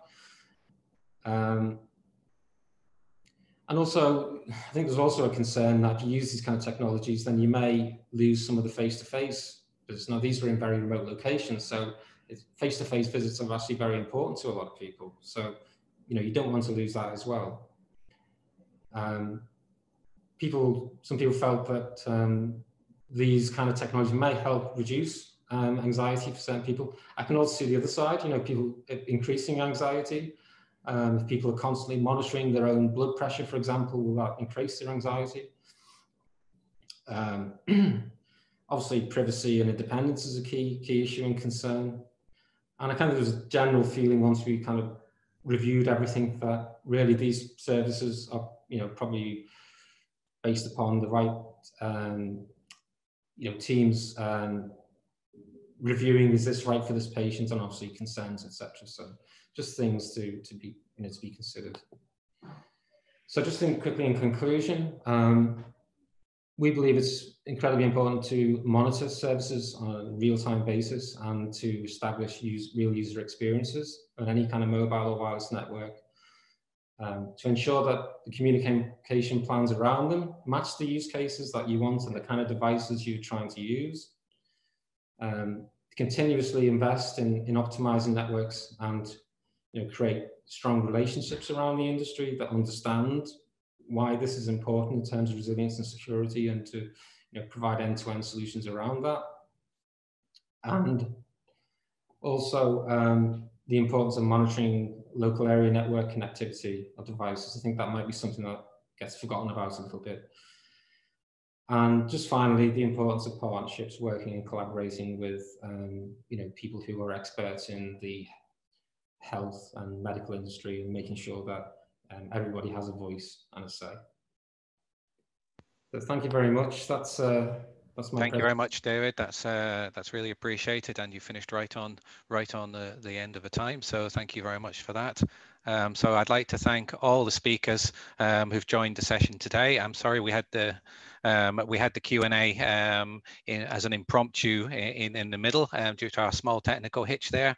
Um, we've received a couple of questions for, for the speakers that we haven't been able to come to in the session today, but I, we will be putting those um, to our speakers. And for those of you that have asked the questions, we hope to be able to provide you with those answers. If you would like to type more questions in, please do so. Um, the the Q&A will, will remain open.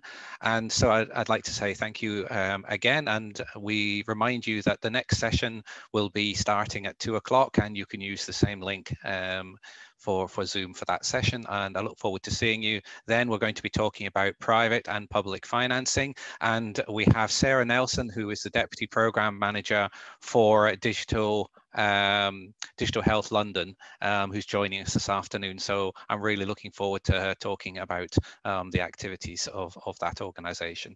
So please do join us again um, this afternoon and thank you again for joining this morning. Okay, take care. Hi, everyone. Um, welcome to those who've joined uh, the webinar for the first time. And um, welcome back to everyone who joined for one of the previous sessions. So my name is Dr. Tom Harvey. I work for CPI and I'm leading CPI's team in MedTech development on electronics and photonics technologies. I'm going to be chairing the webinar session this afternoon. Um, also on our panel this afternoon is Kevin Keeley, who's the Chief Executive of Medilink UK. So both of us would like to welcome you to the uh, webinar this afternoon. It's great to see so many people joining us for this for this virtual event series. So on Tuesday, we hosted the first three sessions of the webinar covering the topics of medical needs, information governance and regulation. And this morning we talked about technologies that were relevant for connected medical devices. And this afternoon, I'm pleased to say we're going to cover the important uh, topic of funding, both private um, and uh, public-based funding. And I'd like to start by thanking all the speakers who are going to take part in the session today um, and passing on the benefits of their experience. So just a couple of housekeeping things before we start. Um, microphones for the audience will be on mute throughout the session this afternoon. So if you'd like to send us a message uh, and ask a question to today's speakers, um, we will respond and answer those questions in a Q&A session, which will happen at the end of the presentations uh, this afternoon. So um, I, I, look forward to, to receiving your questions and, and we'll take them as we, as we come. So um, I'd like just um, to, to start the webinar shortly. And can I just remind the speakers that uh, to try to keep to the 20 minutes um, for the presentations, and that will give us time for a very useful Q&A uh, discussion. So without further ado, um, I'd like to try and get started. And uh, I see Michael Kipping has joined. So I'd like to invite Michael to unmute himself and to share his screen. Michael is Innovation Lead at Innovate UK, um, in responsible for the Aging Society Health and Nutrition team. Um, and I know he's been involved in the Biomedical Catalyst um, grant uh, program. And today his talk is going to be talking about different types of support that Innovate UK makes available to companies. So Michael, if you are ready to go, please. Uh, yep, fantastic. Hi there. I look forward to it. So if you could uh, share your screen, please.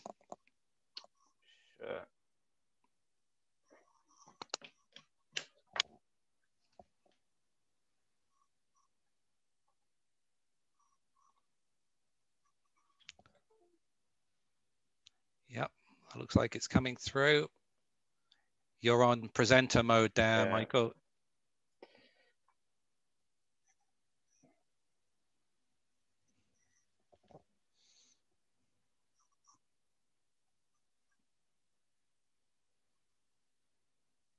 Try again.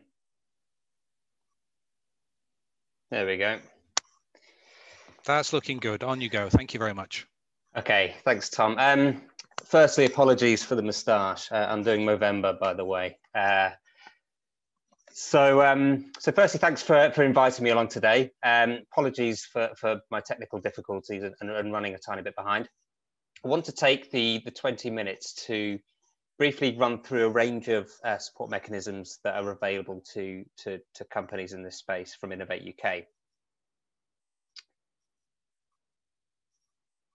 So if you're not um, haven't previously dealt with Innovate UK before, I'll just quickly give you a quick overview of, of who we are and what we are. So we belong to a larger organisation called UK Research and Innovation that brought together the seven research councils, Research England and Innovate UK. And our annual budget is in the region of £7 billion. Innovate UK's role within UKRI is, is kind of akin to to research council for industry. It's not strictly speaking um, the right definition, but that's that's kind of how we operate. And we're really uh, looking to try and drive productivity and economic growth by supporting businesses like yours to develop innovative new products and um, create revenues, create jobs, so on and so forth. And we're, and we're at the heart of the, the government's industrial strategy and drive to uh, have UK R&D expenditure reaching 2.4% of GDP. Um, our annual budget is, is in the region of 1.3 billion, usually. Um, so just just quick overview of the, the UK um, life science sector. So it's, it's, hugely important to the UK economy and, and obviously um, health providers as well. Um, and it's it's a, got a key role within the, the government's industrial strategy. We're ranked highly in the Global Innovation Index. Uh, across the whole of health and life sciences, there's around 250,000 employees, probably about half of them within uh, health tech, and create significant turnover and, and exports. We have kind of a higher proportion of unicorn companies in the UK uh, compared to the rest of Europe and Israel. And the UK is still an attractive destination for um, VC investment. And, and I think the COVID pandemic has really um, driven home the importance of, of innovation and, and of the health tech uh, and digital um, healthcare product um, sector in particular, um, because it was you know health health tech products that really um, made have made the difference so far. You know we're still still waiting on a uh, on a vaccine, but hopefully that will be coming in the new year. But it was um, products that that companies like yourselves uh, developed that have really really helped us sort of manage the, the situation. So just broadly, um, this slide gives an overview of all of the activities that, that, that we undertake. So over on the left-hand side, our bread and butter is, is providing financial support um, to, to, to, companies in a range of sectors. On the whole, it, it tends to be state aid funding, so non-dilutive state aid funding. But we do provide innovation loans. We do um, we do run SBRI procurement contracts, and also uh, evaluating still investor partnerships. So we we try and uh, explore and evaluate different ways of providing financial support for, for different businesses. Alongside that, we also have uh, our innovation and growth advisory services and, and the centers and networks. So the Knowledge Transfer Network, for instance, is uh, part of the Innovate UK family and receives around 80% of its funding from us, um, but a completely separate organisation, completely independent of Innovate UK. Um, and the same with the Enterprise Europe Network and the Catapult Centres, um, including CPI, that receive some of their funding from us, but most of the funding is, is generated independently of us and, and operating independently of us. Uh, we also have a focus on developing people um, through the knowledge transfer partnerships, which has been running for 40 odd years now, future leaders fellowships, women in innovation, um, and uh, young innovators program as well. And then the final section is around global innovative programs. So we run global expert missions, um, global business innovation programs. So GEMS tend to be um, sort of fact-finding missions. Uh, GBIPs tend to be more um, actually introducing companies to organizations um, to, to, to try and develop sort of collaborative approaches and, and, and potential partnerships. And then we have programs like Eureka, for instance, that can actually provide the funding for those uh, for those collaborations to happen. So just uh, just in the final stages of of awarding a Eureka program around healthy aging, for instance. Um, and the Eureka network consists of uh, 40 countries across the, the globe and um, and really facilitates that sort of cross cross country collaboration. So from a funding and finance perspective, um, the, the, the first what I'll do is really focus on the, the predictable um, funding mechanisms. So we do have sort of ad hoc competitions that come up, but I'm really focusing around the ones that that, that are typically more more predictable. So SMART is our so an open competition, so it's a free for all for companies in any sector. And we typically have four competitions a year, uh, and uh, typically at 25 million pounds a time. Now we had the SI yesterday, and um, the the this competition will carry on as is into the future. It's it's one of our uh, core priorities.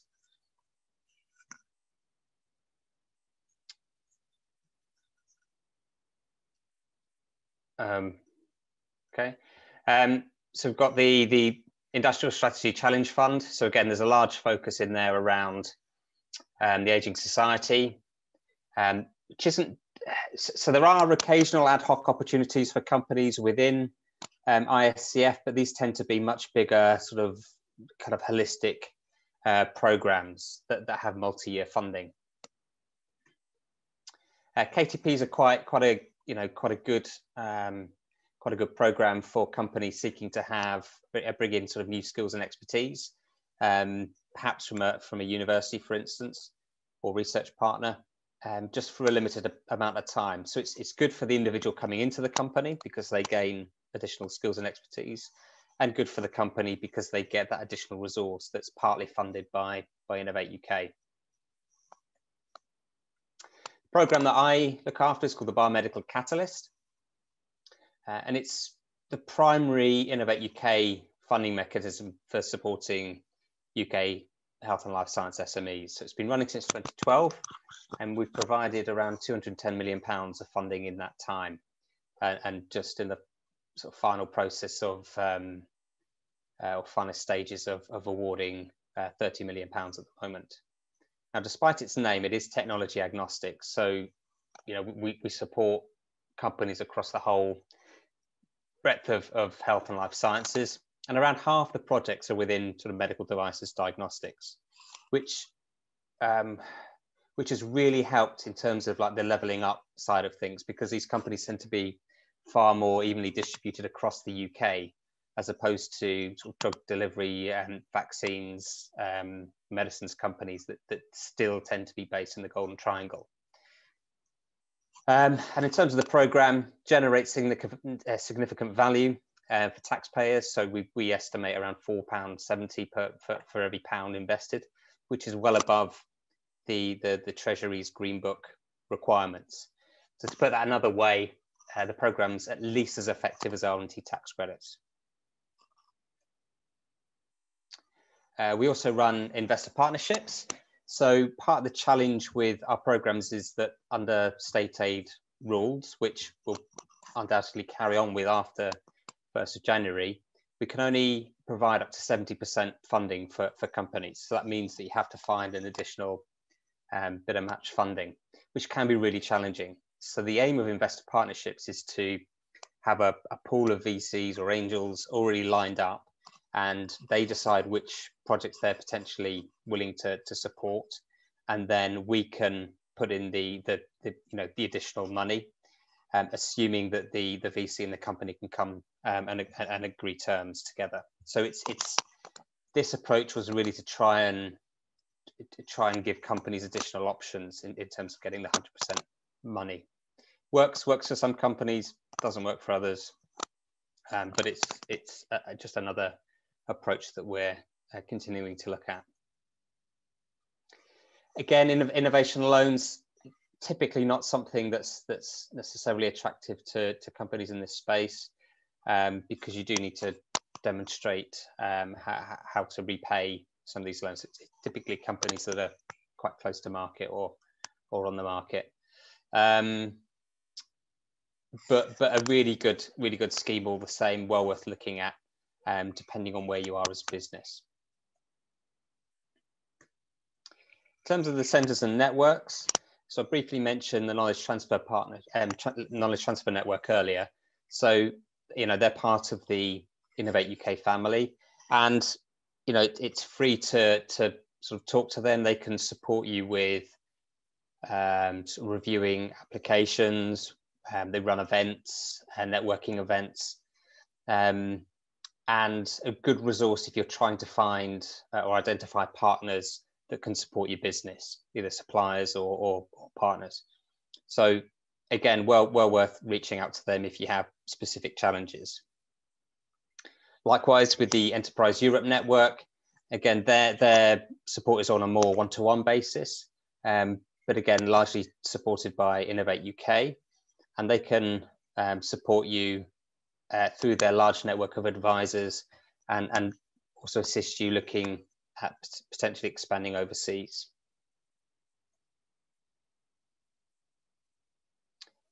Skip through that one. Um, so the Catapult network. Um, so the Catapult network was set up to provide uh, sort of facilities and expertise to support companies. So, uh, so CPI, for instance, um, provide you know a huge range of of uh, facilities, expertise to support companies, um, kind of looking at the development of their process, perhaps scaling up a process, um, so they can then sort of move ahead and, and commercialize. So part of their their budget comes from us. A large part is is self generated. Um, but again, we've got the these catapults networks uh, covering a range of different sectors. Interestingly, with the catapults, um, you may already be aware, but because they're not part of Innovate UK itself, they can uh, collaborate with you on applications to us. And, and it's quite common that we have receive applications that have um, CPI, for instance, or the Medicines Discovery Catapult or Cell and Gene Therapy Catapult as partners, as grant receiving partners on applications. And they, they can provide a lot of support in terms of writing applications as well. So uh, a really, really useful outlet. Uh, so in terms of global programs, I've kind of talked uh, briefly about this already, but kind of these are the uh, sort of five five areas that we, we we tend to sort of play in really, and what we're doing as an organization is really focusing on um, perhaps doing a bit less in terms of, you know, because we, we have lots of activities going on, but perhaps doing a little bit less, but doing it in a far more long-term strategic way and building, um, putting the building blocks in so that we can have a kind of long-standing relationships with, uh, with target countries. So for instance, um, we're having lots of discussions with South Korea at the moment who have lot of expertise in, in electronics, um, within digital health, um, which could be really useful for, for UK companies to tap into and, and, and vice versa. Uh, and by taking a much longer term view, we can then engage with the DIT to, to help build that sort of export or inward investment um, pipeline and, and also sort of provide a more you know a slightly easier pathway to, to market for companies. I mentioned Eureka. Um, again, we're going to. This isn't an EU um, uh, approach. It's a it's it's a 40 country approach. Includes the likes of Canada, Israel, South Korea, uh, various others. Really, really nice program. Uh, allows multiple company um, multiple countries to collaborate around a, a common uh, competition, common cause. Again, it crosses all sectors. Um, alongside this, we probably will run more bilateral competitions as well. Um, but there is the, the, important thing to take away is that there are opportunities um, to, to receive support for doing innovative activities um, and, and, building um, sort of innovative partnerships and, and products with other countries. And that's that's me.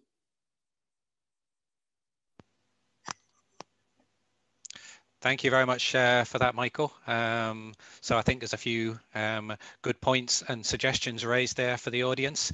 So I'd like to just remind everyone, if you've got a question um, for Michael, please um, put the question in the Q&A and we'll come to that um, after the end of the other presentations today. And um, I'm sure your question will get answered. Uh, I'm sure you might get a few questions there about the international internationalization, Michael. So I think that's probably a very interesting topic for a number of people at, at, the webinar today. So thank you very much. Um, so now I'd like to move on to and introduce our next speaker, please. Um, our next speaker is Sarah Nelson, um, who is the Deputy Programme Director for Digital Health London, and we're really pleased to have Sarah with us um, this afternoon. She is uh, an experienced nurse with over 27 years in the NHS, apparently, um, and so I'm sure she is super qualified to tell us about what's happening at the AHSN and particularly about the Digital Accelerator Support Scheme. Sarah, over to you if you'd like to unmute and share your screen, please. Thank you very much, Tom. Yes, let me share my screen and uh, bring up the uh, presentation. It will be in that mode first and from the beginning, present the slides. Okay, is that all ready and that's looking good. We can see the slides. Thank you. So, uh, as Tom said, uh, absolutely, I am Deputy Programme Director at Digital digitalhealth.london. Um, and I'm also, as well as the four parts of the programme that you'll hear about today, um, a nurse who is working with NHSX under the Chief Nursing Information Officer, advising her on the um, strategy and plans for nursing through the digital future. So very interesting space that I'm in and it feels like a second career to me, um, even though I have still got my nursing registration. Let's go on to why we're here today. Um, like Michael, I am here to talk about the support and opportunities that we can actually give you as innovators um, and how we can work with you to support the challenges that we have within the NHS. I'm going to be talking about the AHSN network, and I'm also going to be talking about the Digital Health London programs that will be able to support you. So AHSNs, you may have heard the term, AHSN stands for the Academic Health Science Network. And there are actually 15 of them across the country. Um, 15 separate organisations, but work as a network of networks. Our strength is that we really operate locally, so we know our own areas and we know our stakeholders in that area but we bring that together and because of the trusted relationships we have we're then able to work collaboratively across the country to help with spread and adoption. They work together for three overarching goals. The first is that of improving health. We identify solutions that can actually help to support the health and care organisations that are out there. We drive down cost by looking at how we can save money and save staff time. And we can look at the economic growth and stimulating the economic growth. And that's something that goes across both the AHSN networks and the other parts of the program, because it's really important that we find companies that we can support that will understand how they can get the best out of the NHS and social care um, and grow their companies. And by growing themselves, that actually improves the offering to the NHS.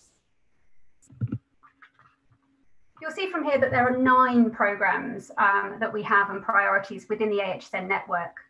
I'm going to speak to you about two today because although some of these may actually be more of, uh, you may be interested in, two of them specifically I think will be more applicable to all of you.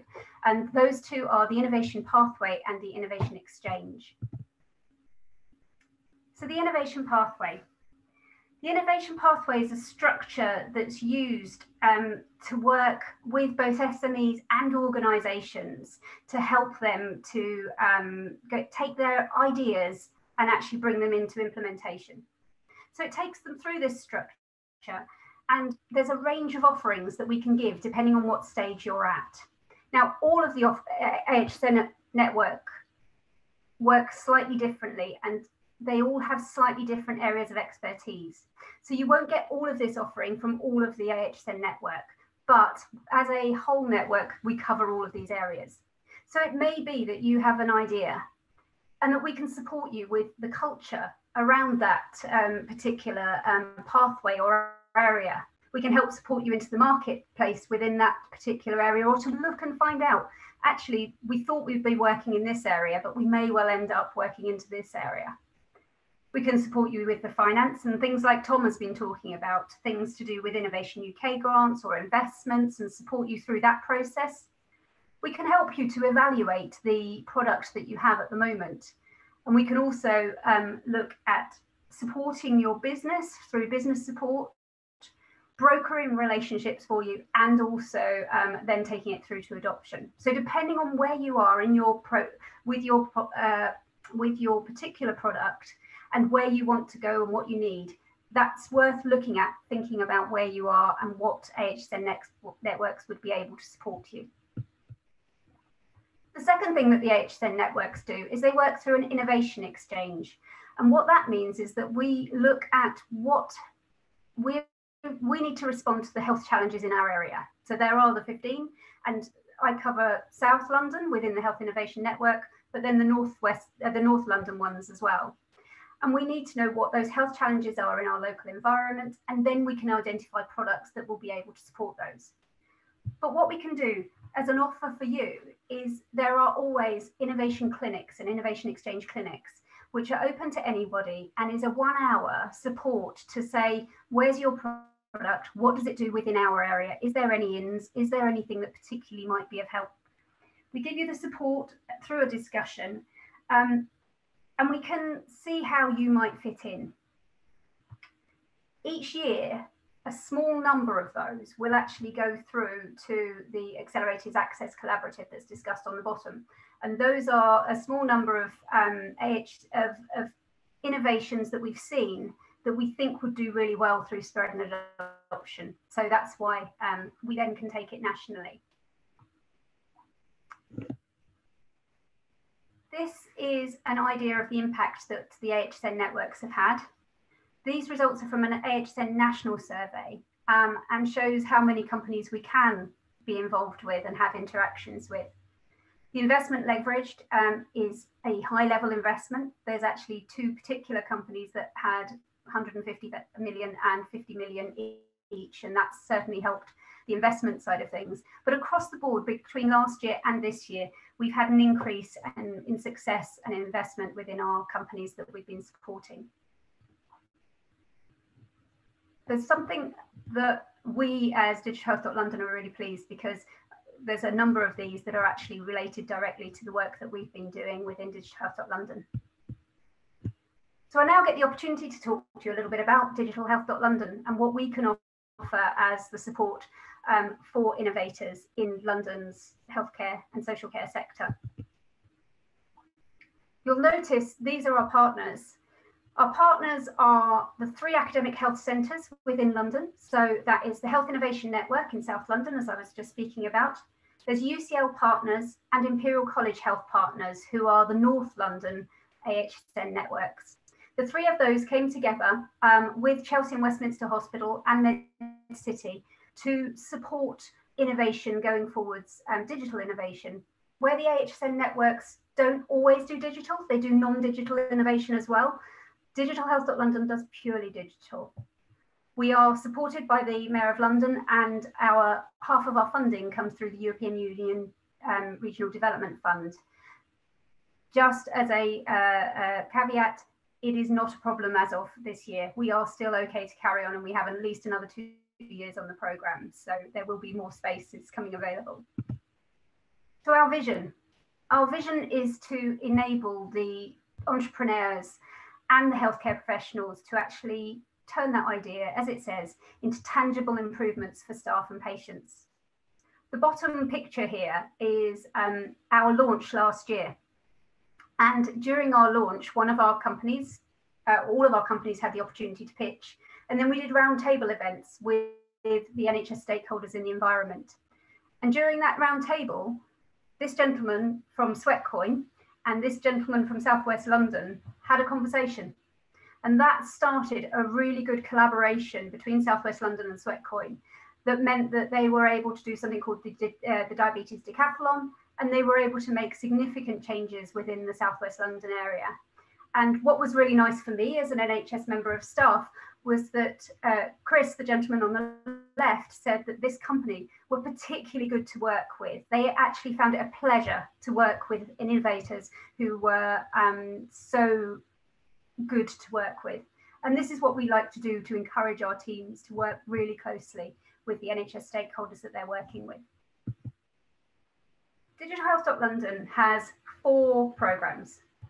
So there's the Accelerator program, which is the sort of the main program that we've run and it was the original program as part of Digital Health London.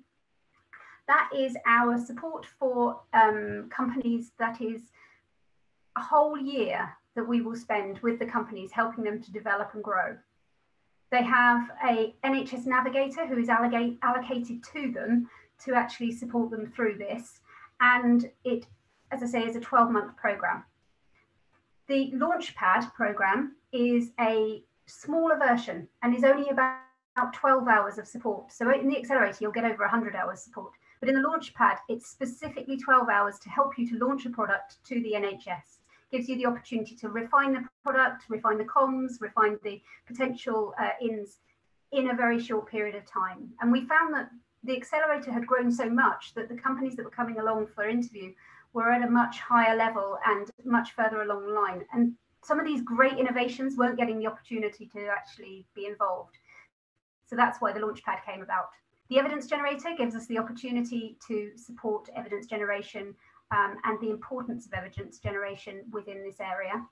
And the Pioneer Fellowship is um, a separate part that I won't be discussing today, but is about how we support the NHS staff to bring innovation into the uh, into their organisations the accelerator. These are this is our mugshot of our team of navigators. Um, as you will see, there is a number of different uh, um, staff from different areas within the NHS. We have clinical, operational, and managerial experience here. And this is the difference between our accelerator and other accelerators. You'll see other accelerators out there and you've got to find which one works for you. This one works specifically with NHS staff to look at answering NHS problems. And all of this, these, this team, as well as the core team behind them of comms and operational support, um, support all of the companies through the year um, to understand their work within the NHS. So our accelerator offering, um, we go from our launch event to what is actually our showcase event. And between those two time, uh, those two events, one at the beginning of the year and one at the end of the year, you have the opportunity to refine your offering. We can review opportunities that are out there. We can broker relationships, and we can support the peer-to-peer -peer learning through the different sessions that are mentioned on this slide. This was, again, another independent evaluation, but this was of the, of the Digital Health London programme itself, the Accelerator programme. And the two parts that I'd like to point out that we're really proud of is one is the over 14 times return on investment. So for every £1 by the NHS through the HSN networks, there is £14.50 return on investment. We were shocked when we heard that ourselves, but that was really help, really good to hear. The other thing is our jobs created. Um, it's really helped with that stimulating the economic growth. The fact that we've had 513 new jobs created, and of which 66% of it was through direct support, as the companies have said themselves, through direct support from the accelerator, in making them believe in themselves and helping them with realizing the benefits that they can bring. I'd like to introduce you now to our cohort five companies we select our companies based on the um, their ability to meet the challenges of the NHS. We look at business need and whether the NHS needs them. We look at business credibility and we look at is there a fit to our particular um, accelerator. As I say, you've got to pick the accelerator that's right for you. Here we've mapped them against the NHS plan. This is just a case study of one of our companies, Livi. Some of you may have heard of them. Um, they were on our um, accelerator. They've grown significantly, specifically secondary to uh, COVID. And um, if you're part of our program, you stay a part of our family. You don't move on after the one year and we don't see you again. We still want to celebrate your successes, and we do so. The Launchpad, as I say, if you don't feel like you're ready for the accelerator program, and there's only 20 spaces um, for uh, companies for that, the Launchpad program runs a couple of times a year, and that actually looks at the lower, um, uh, sort of earlier stage companies, I should say. And we support them in exactly the same way through having the workshops and support, but it's just at a much smaller level. Just because you've gone onto the Launchpad doesn't mean you can't get onto the accelerator. Two of our Launchpads have gone onto the accelerator and have been successful throughout two years of working with us. Um, 19 new products that we've had from the company, and as Arden says on that uh, particular piece of the slide, it still helped them. Even 12 hours of support can make a big difference. Our generator offer is just, it's so important nowadays that whatever we're doing is evidence based. Everything is looked at in such a detail to make sure that there's either a return on investment or that there's actually some evidence behind why we are doing this and why we are spending NHS money. So it's really important for us to support you to look at the evidence standard frameworks, but also to broker those relationships with SMEs and research institutions. As you can see, we've done that with 37 research institutions or 37 uh, particular research partnerships. But the other thing that we've done is agreed that it's really important for everyone to know about how important research is, which was why we delivered this four part webinar series so that everyone can understand why it's really important at the moment. I want to say thank you. Thank you for the opportunity, but also thank you for letting us speak today. If there is anything that you want to uh, know, please drop us. Um, obviously, we've got the Q&A session shortly, but uh, drop us a, a line at info at digitalhealth.london or follow us on Twitter. Thank you very much, Tom. Well, thank you very much, Sarah. Yes, um, a lot of content there for um, the audience to take in, so that that's great. Um, can I just remind uh, everyone again, you've got the opportunity for the Q&A, um, so the, the questions box is open and waiting, so please do type in some questions, and I can see a few questions coming through now, so if you like to, to put yours on there, and we'll, we'll have a discussion about those shortly. Um, so I'd like to move on now um, to the final talk of uh, this session, and I'd like to introduce Mari Dillon, please. Mari is a relationship manager with CPI Enterprises, which is the new investment engagement venture capital arm of CPI. Um, so Mari's got a wealth of experience in early stage tech fundraising, project management, and outward facing um, public and private finance. So she's going to talk to us today about raising finance for your business, which is, let's face it, a very, very important topic to consider alongside everything else. So Mari, can I pass over to you uh, if you'd like to unmute and share your screen now, please. Thank you. Thanks, Tom. Um, I've obviously got a hard, hard axe to follow, so I'll try my best to keep up the, the momentum. Um, so I'm just sharing my screen now. Can everyone see that? It's not come through quite yet. Just give it a moment. Okay.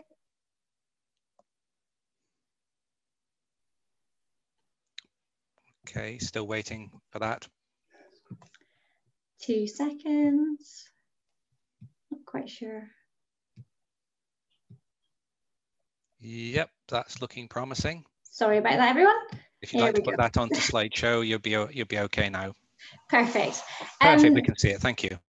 Thank you. Um, Tom's obviously given a, a, bit of a brief introduction. Um, thank you very much for um, inviting me to speak today. Um, I'm going to give a, a, bit of an overview of um, the sort of investment perspective of, of, of, you know, looking at medtech companies. Um, just for, for a little bit of background, um, so I have spent the last sort of 10 years in the public-private um, investment early stage um, landscape. I, um, I was head of operations for an early stage biotech company um, who raised in the UK and the UAE. Um, and then I, I actually went to, to work with um, Michael and, and colleagues at Innovate UK through KTN um, and worked on the innovation loans, um, innovation partnerships, competitions on the access to funding and finance team. Um, since then, been working in consultancy around early stage fundraising and, um, you know, ended up in the Catapult networks. Um, so, so very much part of that public-private piece um, and engaging with investors throughout along the way. Um, I, um, as Thomas said, um, I, I, work as an investor relationships manager for um, CPI Enterprises. Um, this is a fairly new and exciting subsidiary of, of CPI. Um, we have a, a, a, couple of legacy investments. We've got a small portfolio and we invest in pre-seed and seed um, companies um, who are aligned to our, um, our capabilities and expertise. Um, and we're looking at tickets around the £100,000 mark. Um, we, like any other investor, have um, you know, run, run a process, very selective, um, and regularly have an investment committee. CPI Enterprises is quite unique because um, we, we want to invest sweat equity or a combination of sweat and cash equity um, into companies um, so that they can utilize our, our fantastic facilities, which I know our, our, my colleagues will have already gone into. Um, and quite simply, we see a lot of medtech, um, and I think that's that's partially testament to to our colleagues in, in, who are working in medtech and in the engagement that they do. But but just generally, I think there's there's been quite a lot of, of activity from the medtech point of view, um, just with significant growth in that sector around the sort of 2017-18 mark, and that continuing um, um to now. And, and, I think that that's sort of in part to do with that increasing expenditure on healthcare and the changing demographic, the aging population. So from an investor's point of view, it's quite an exciting market if you can invest in a, in a medtech application that perhaps could improve the quality of, of people's lives immeasurably um, or the efficiency of systems in, in, in that arena. Um, but I think with, with this talk, I want to strip this back a little bit to, to just give that very early stage view of who, who are these investors and um, you know why are they doing it. And I think that's really important for founders to consider when they're out there fundraising. Um, for, for any stage actually, what the motivations are and, and what types of investors um, and what models they're using. So, you know, it would be lovely if we all had a million pounds. The reality is actually, um, yes, you, you may come across wealthy individuals investing their own money, but a lot of the money that's in the early stage marketplace, that is institutional money. So they are individuals like myself who are um, scouting for companies, looking for investments um, relative to a thesis, and, um, and that money is perhaps because of the organization or, or because of, of other high net worth or institutional funds. Um, and, and I think just you know going back to that, well, why are these people engaged? Why are they in this marketplace? Well, a lot of the time, motivations is, is partly around giving back. There could be that you know I'm an angel investor and um, I, I, I have, I've retired. I've worked in the NHS all my life. I've done fairly well. I've you know I've, I've, I've I care about that particular um, area of medicine um, and that particular um, um, sector or subcategory. It might be that you know technology just generally. I'm excited about investing in technology. I, I see the impacts that it would make into our, our, our future. Um, or, or, potentially that, you know, I like doing the mentoring and I like being part of the ecosystem and engaging with that ecosystem uh, and what it, what it brings. But, uh, you know, realistically, there's also that, that financial side to it. You know, investors are investing because they want to have a share in profits um, and they want to see that growth of, of the company, which is where, you know, you hear the term return on investment regularly um, being talked about. But also there's, there's, there's, there's ways that drive that appetite into the early stage market. So things like the um, um seed enterprise investment scheme and also the, this, um, the um, enterprise investment scheme, which allow tax breaks for investors to invest um, a certain amount of money, um, bring that money into a very risky area of the market, and, and they're incentivized by a 30% or a 50% um, tax break. So I think useful to bear that in mind when you're approaching investors and you're thinking about going down the investment route. Um, typically, when we talk about investment as well, private investment, um, we, we, talk about friends and family, then going to angel syndicates, and then perhaps going to um, to uh, venture capitalists.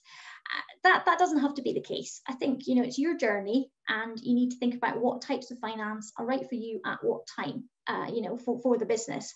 However, just to give you a flavour of that, you know, when we think about friends and family, um, and, and all of these vet investors, they, they'll be looking for, say, 15 to 20, 25% of your, of your business per round in exchange for that capital investment. And um, so you are selling selling part of the business so that you can accelerate it and and and hopefully reach your milestones quicker.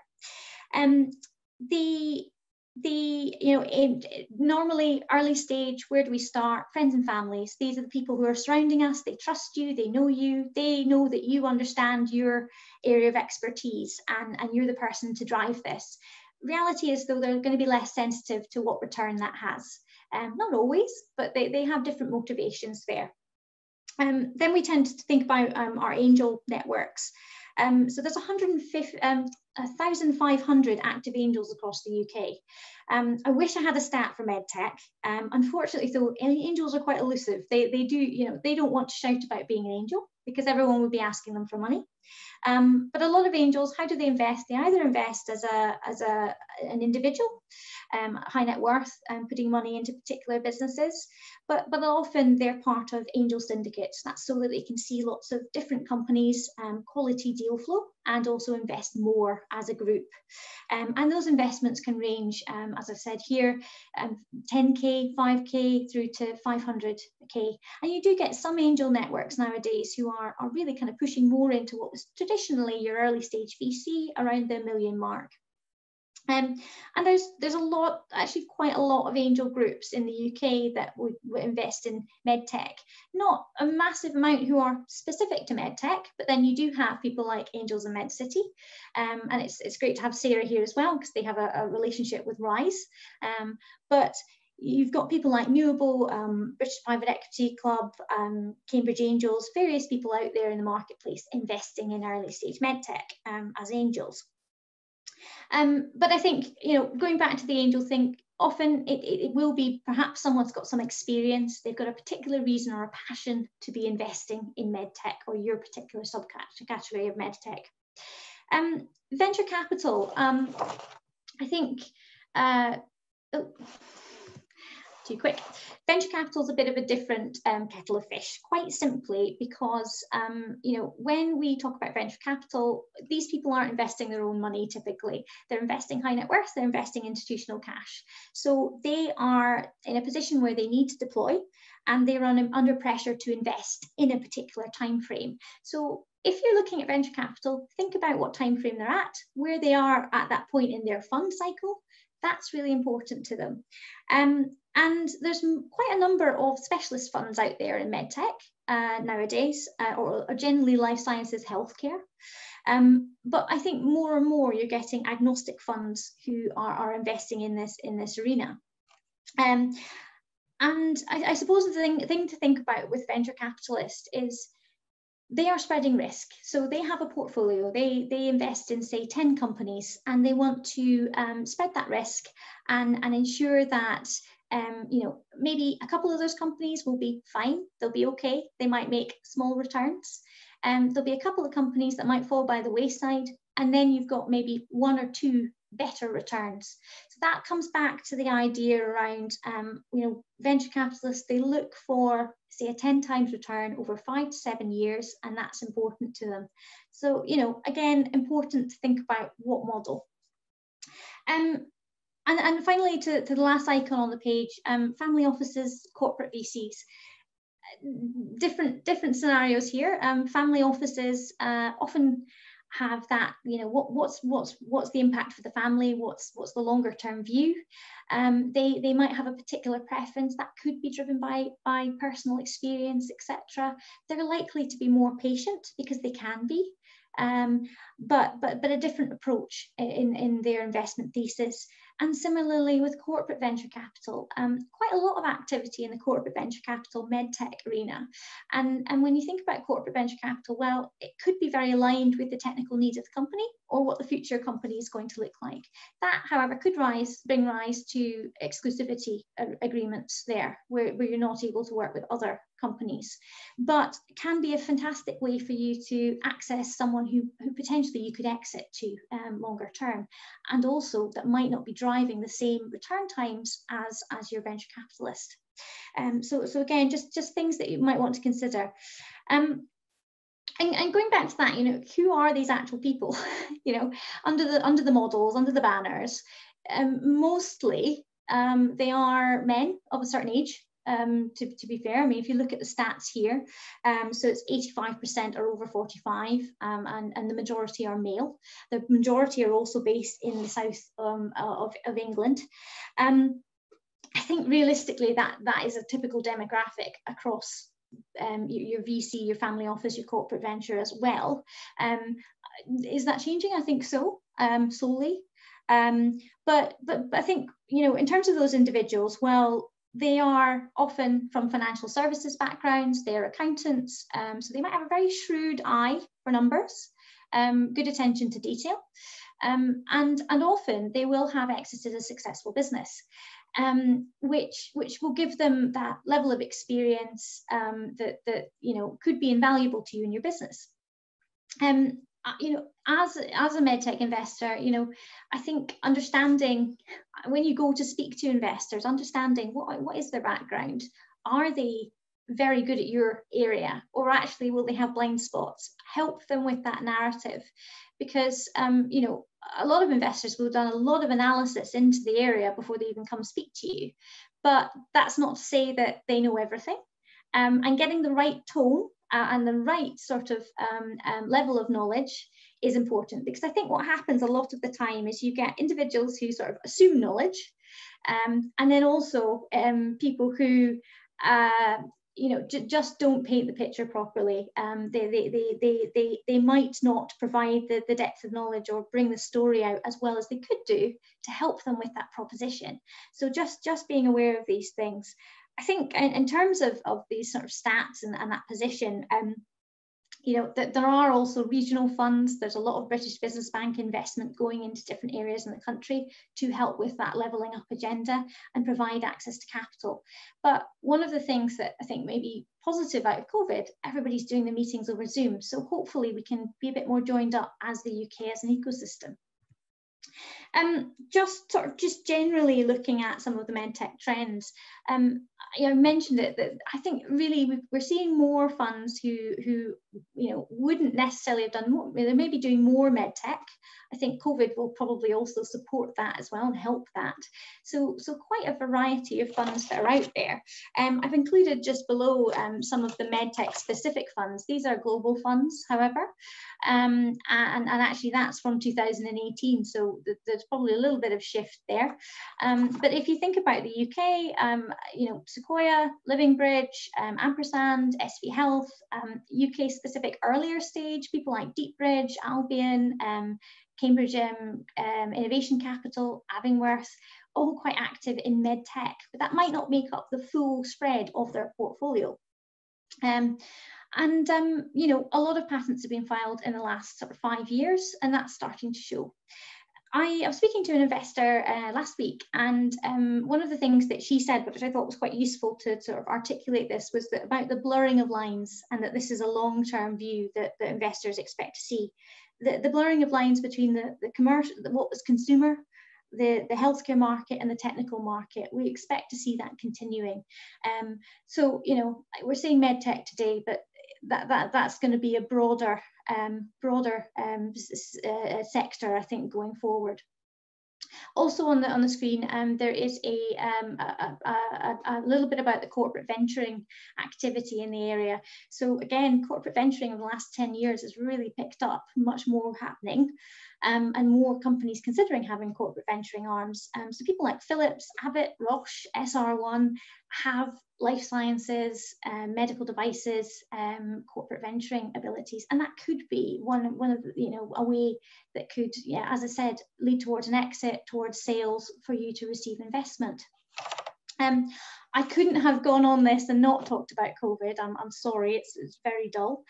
Um, I think you know one of the things that did happen with the investment sort of side of things recently is that while everybody sort of took took stock, they they battened down the hatches a bit and they looked at their their portfolios. That said, when I'm out there speaking to investors at the moment, a lot of them have said, well, actually, there was some really good stuff that happened for some of our portfolio companies, and we still did deals. And I think there's going to be a flurry of activity now before end of the year into next year because of tax incentives too but certainly that continuation, a lot of capital that still needs to be deployed. So it's, it's a fairly positive view, actually, I, I would say, of, of what's coming, coming back from other investors in this area. Um, I think, um, you know, clearly, as I said, some opportunities, um, a lot about the IVD testing gold rush, but also the fact that that um, drove up prices, so, so made it very competitive. Um, and, um, and you know, there's a lot of positive response from investors about the, the um, non-dilutive cast injections. But at the same time, you had some of their portfolio who really struggled because of supply chain, because of some of the challenges around COVID. Um, on the right, I've, I've put some pointers here about things that you know people are saying in the, in the investor marketplace about things they're expecting to see and, and what's going to become more popular. I think actually the sharper focus points, the differentiator, the regulatory environment, the supply chain, that stuff has always been important. But again, just because of COVID, some of these things have become that extra bit important. Um, and, and actually all of this is, is pretty standard stuff. We, you know, when we're looking at propositions, we expect to see a holistic view. And, and these, these aspects are all, all equally important. But at the same time, you know, I think you know, as the as the market gets more competitive, these are the things you need to focus on. We want to be seeing these things. I've just drawn out a couple of um, a couple of uh, sort of aspects of this that when we're looking at investments and, and the companies coming through that I sometimes think could be done better and actually really important. So market sizing and that return on investment, remember what is your investor looking for? Is it a 10 times return? Is it actually that they're more patient and they're not terribly fussed about that? Are they going to invest again? Think about these things because that also translates to how you um, articulate your market sizing. Um, typically, you will see something, uh, you know, like the, the, the image on the screen about the market size, and, and, one of my bugbears is that often you see companies who are either exceptionally um, uh, ambitious or equally under ambitious do your top down, your bottom up, think about the growth, think about regulatory changes, um, be realistic and appropriate, and remember what is your investor looking for. Um, and actually on that one, I recently been mentoring a prosthetics company who, fantastic company, really struggled because again, you know, they're going to clinics, they're going to the NHS trusts, they're going to charities, then they've got um, B2B sales. It gets quite complicated. And how do you how do you discuss those channels? Um, again, um, you know, traction, always really important to an investor. Um, so do you actually have sales? Have you got customers? Can you show it? And, and how are you driving that momentum? I always think um, traction is fantastic in the sense that, you know, we talk about traction all the time, but what does it really mean? means the opposite of distraction. Are you focused? Are you moving forward? Um, with medtech companies, again, the clinical regulatory pathway, that needs to be clear. You need to be showing that you're credible, you understand it, and you've got a plan for it. And that is important when going to an investor. Certainly, one is in a healthcare environment who could be very astute, very aware of what they're looking for. But also, you know, if you're looking at agnostic uh, investors as well, they'll be aware of the risks of negotiating the NHS pathways, etc. Um, really, really important um, team, I think, is often underestimated and how important this is. Um, and I do, do truly believe in that cliche that, you know, an A, an A star team with a B star idea is better than your, your A your A star um, idea.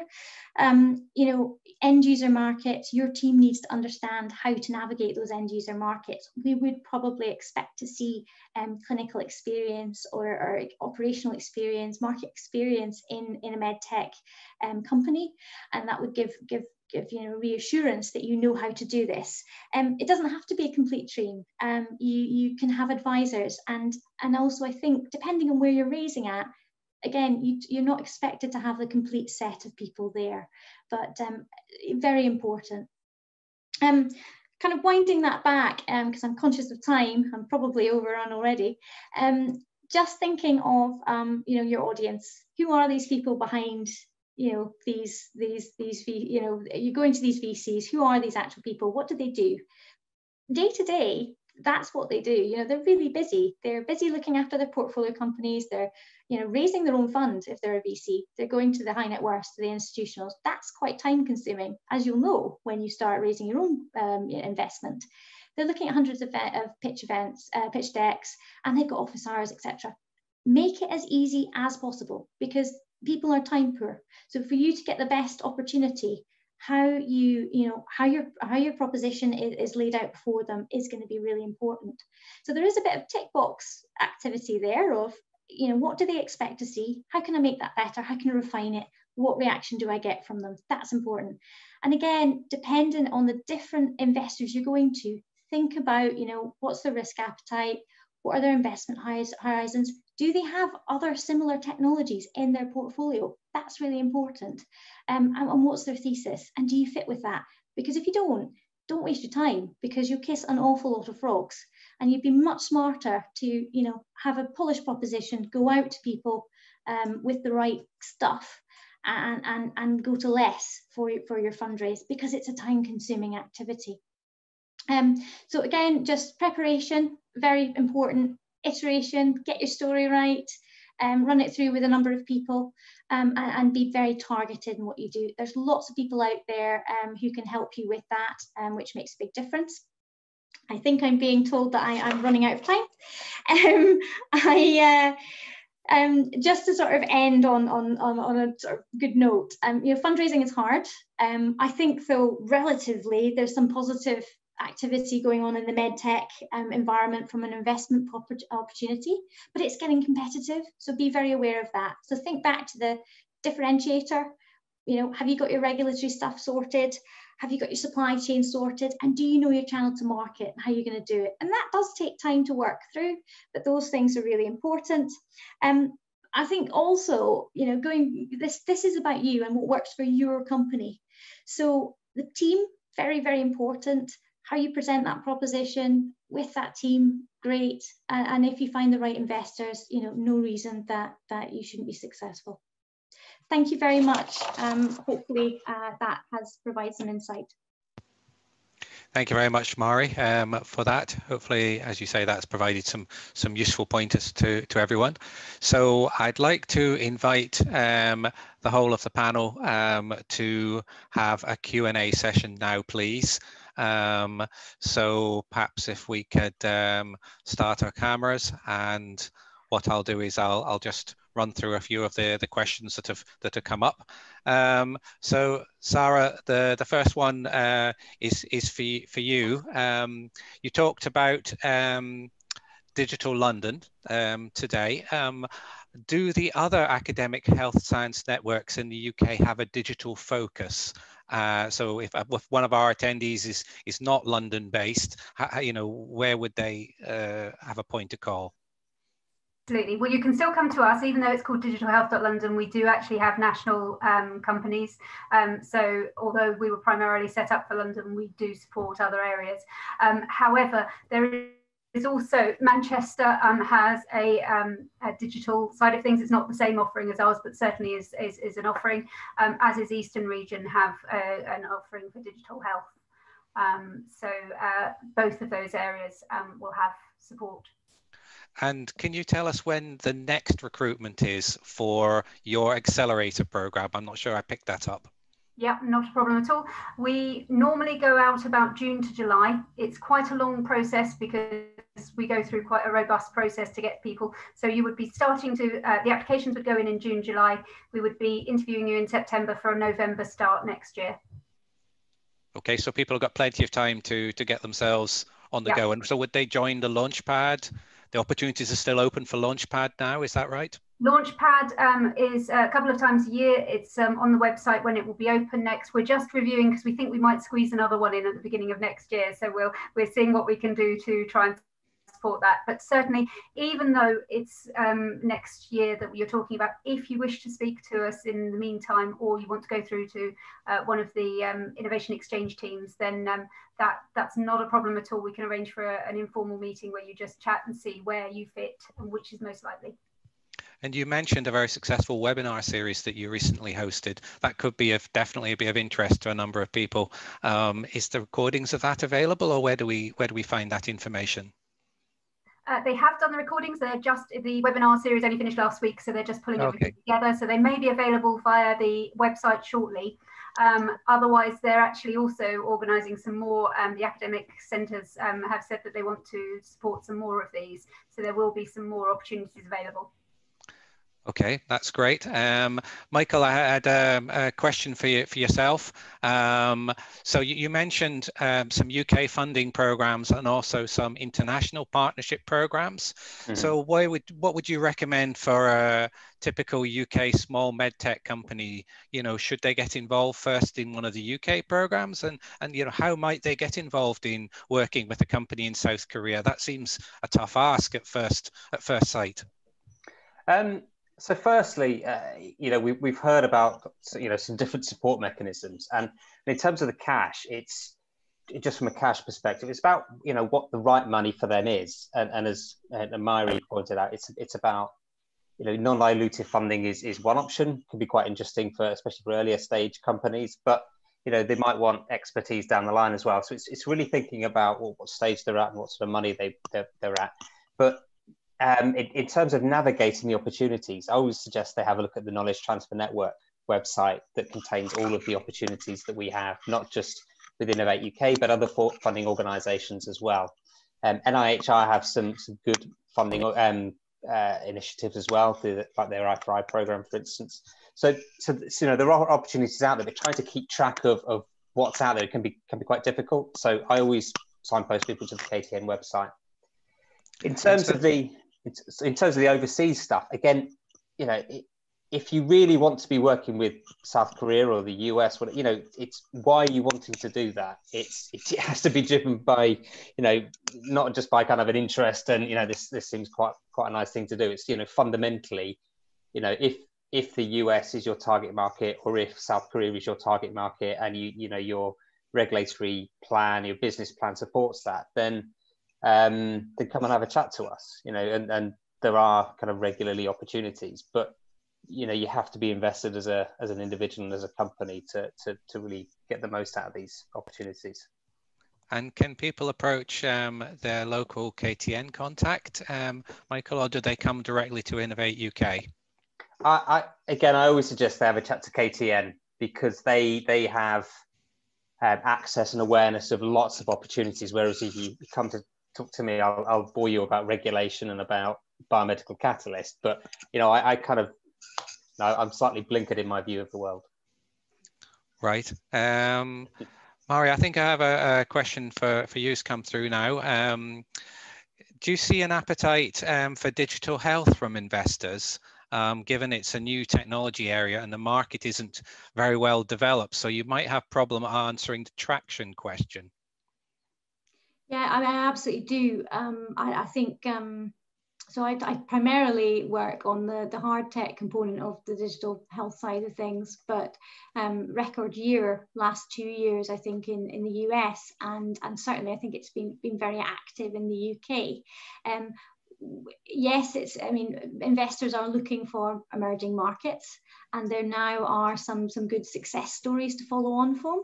So I think that's that's pretty encouraging, and and also again, given COVID, I suspect you'll you'll just see a flurry of activity in that market um, in, in the next six months to a year. Um, the, in terms of the traction piece, um, traction's relative um, and and relative to your stage and and you know what the investor is looking to see um, for your business. Again you know they'll be looking at who else is operating who else is making investments you know that are similar to you to, to, to benchmark against. Um, so so certainly you knowing what competitors and people who've come before and, and learning from them um, so you can be very clear about how you're going to move forward is important there and you mentioned question. you mentioned an interesting term called sweat equity. A few people might be wondering what a sweat equity is. So maybe you could just Sorry, I probably uh, jumped over it. Um, uh, so sweat equity is um, instead of cash for, for equity, so selling um, selling part of your business for for for, for equity, um, you would be um, providing equity to an investor um, in return for access to facilities uh, and in-kind resources, essentially. So, for example, um, with CPI Enterprises, with some of the investments we're looking at at the moment, we would take a share of the company in return for them coming in and working with our team at, at, at our facilities. And maybe I can pass this um, sort of similar questions over to, to Sarah. Um, so uh, how do you work with the companies in your program um, for when they seek investment? Obviously, you're giving them so many hours of support, either 12 hours or 100 hours of support through the program. But how do you work with public and private investors um, with those companies? That if you are looking for mainly investment, we're probably not the program for you. Ours is much more about the development over the whole year. However, we do have that relationship, as uh, Mari said, um, with Rise and with MedCity. And MedCity support us um, with the investment conversations that our companies will have. Um, so it's there is investment to an extent but it's not the priority of our particular um, accelerator. There are other accelerators, but that's partly because we don't take any investment, we don't take any equity. This is purely um, a um, uh, subsidized by the European Union um, and through the um, state aid. So that's why it's not really our main area. Our skills are within the NHS and knowing and understanding the NHS. Thank you very much. And, Michael, I think um, a lot of people will be interested. You have a great insight into what's coming in the future in the way of support. Um, so can we expect to see UK government putting more support behind the digital and connected healthcare agenda um, in the near future? Can you give us any insight into the direction of travel in that area? Um,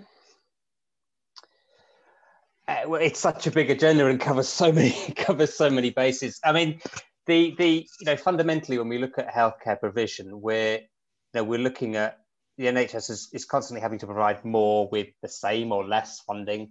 Um, hospitals very expensive resources, um, and we want to obviously move to prevention or, or early detection. Um, and digital will play a key role in that in terms of being able to you know do the prevention, early detection, but also treatment outside of, of conventional um, healthcare um, sort of facilities. Um, but also from a personal perspective, you know, there's also the, the, the, whole sort of biohacking and personal responsibility for, for our own health as well and, and health data. And um, I, I, think there'll be an interesting, well, there will be interesting dis- discussions both from an ethical perspective and a practical perspective around how our data is used, who owns our data, how do we use it, how can we use it to develop safer products, like register, you know, how can we use it to, to create registries, for instance, or um, it, so, so it's definitely the, the direction of travel.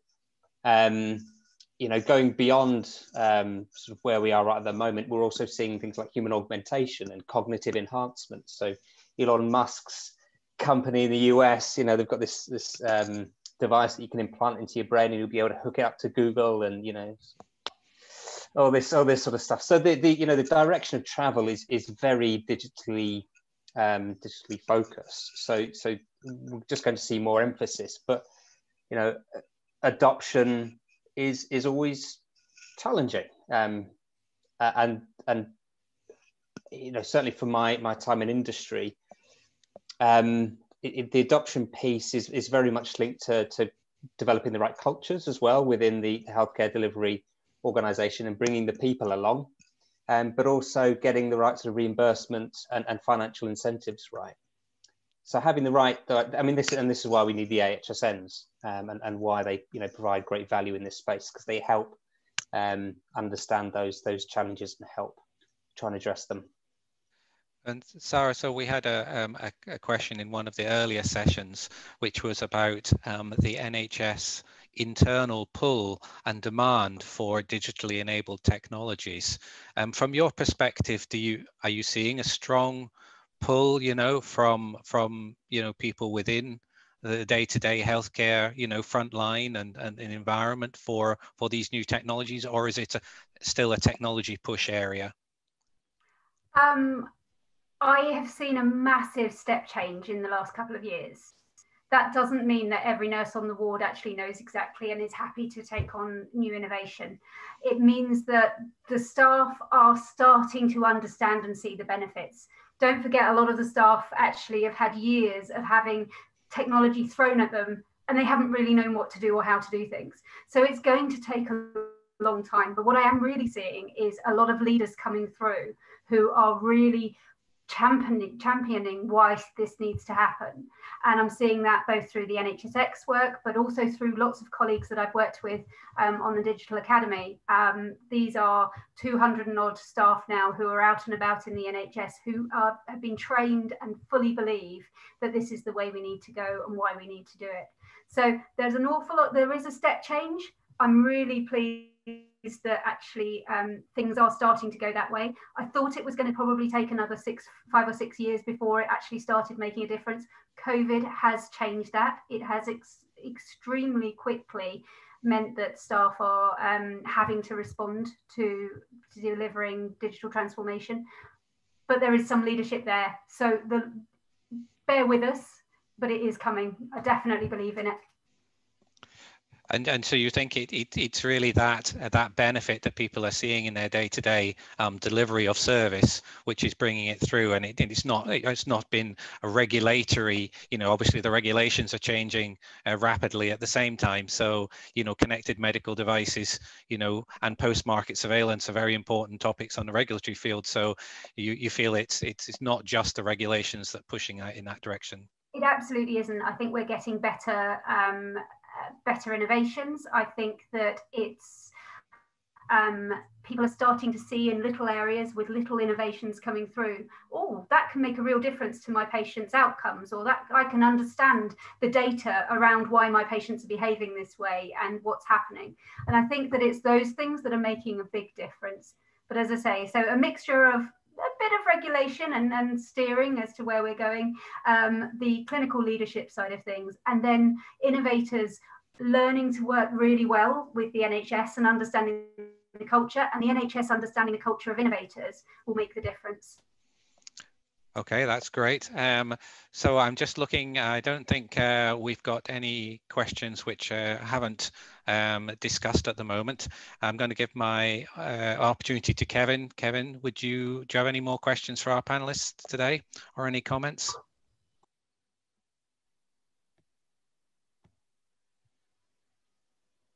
Hi. Oh, there he is. Tom. Yeah, I got there eventually.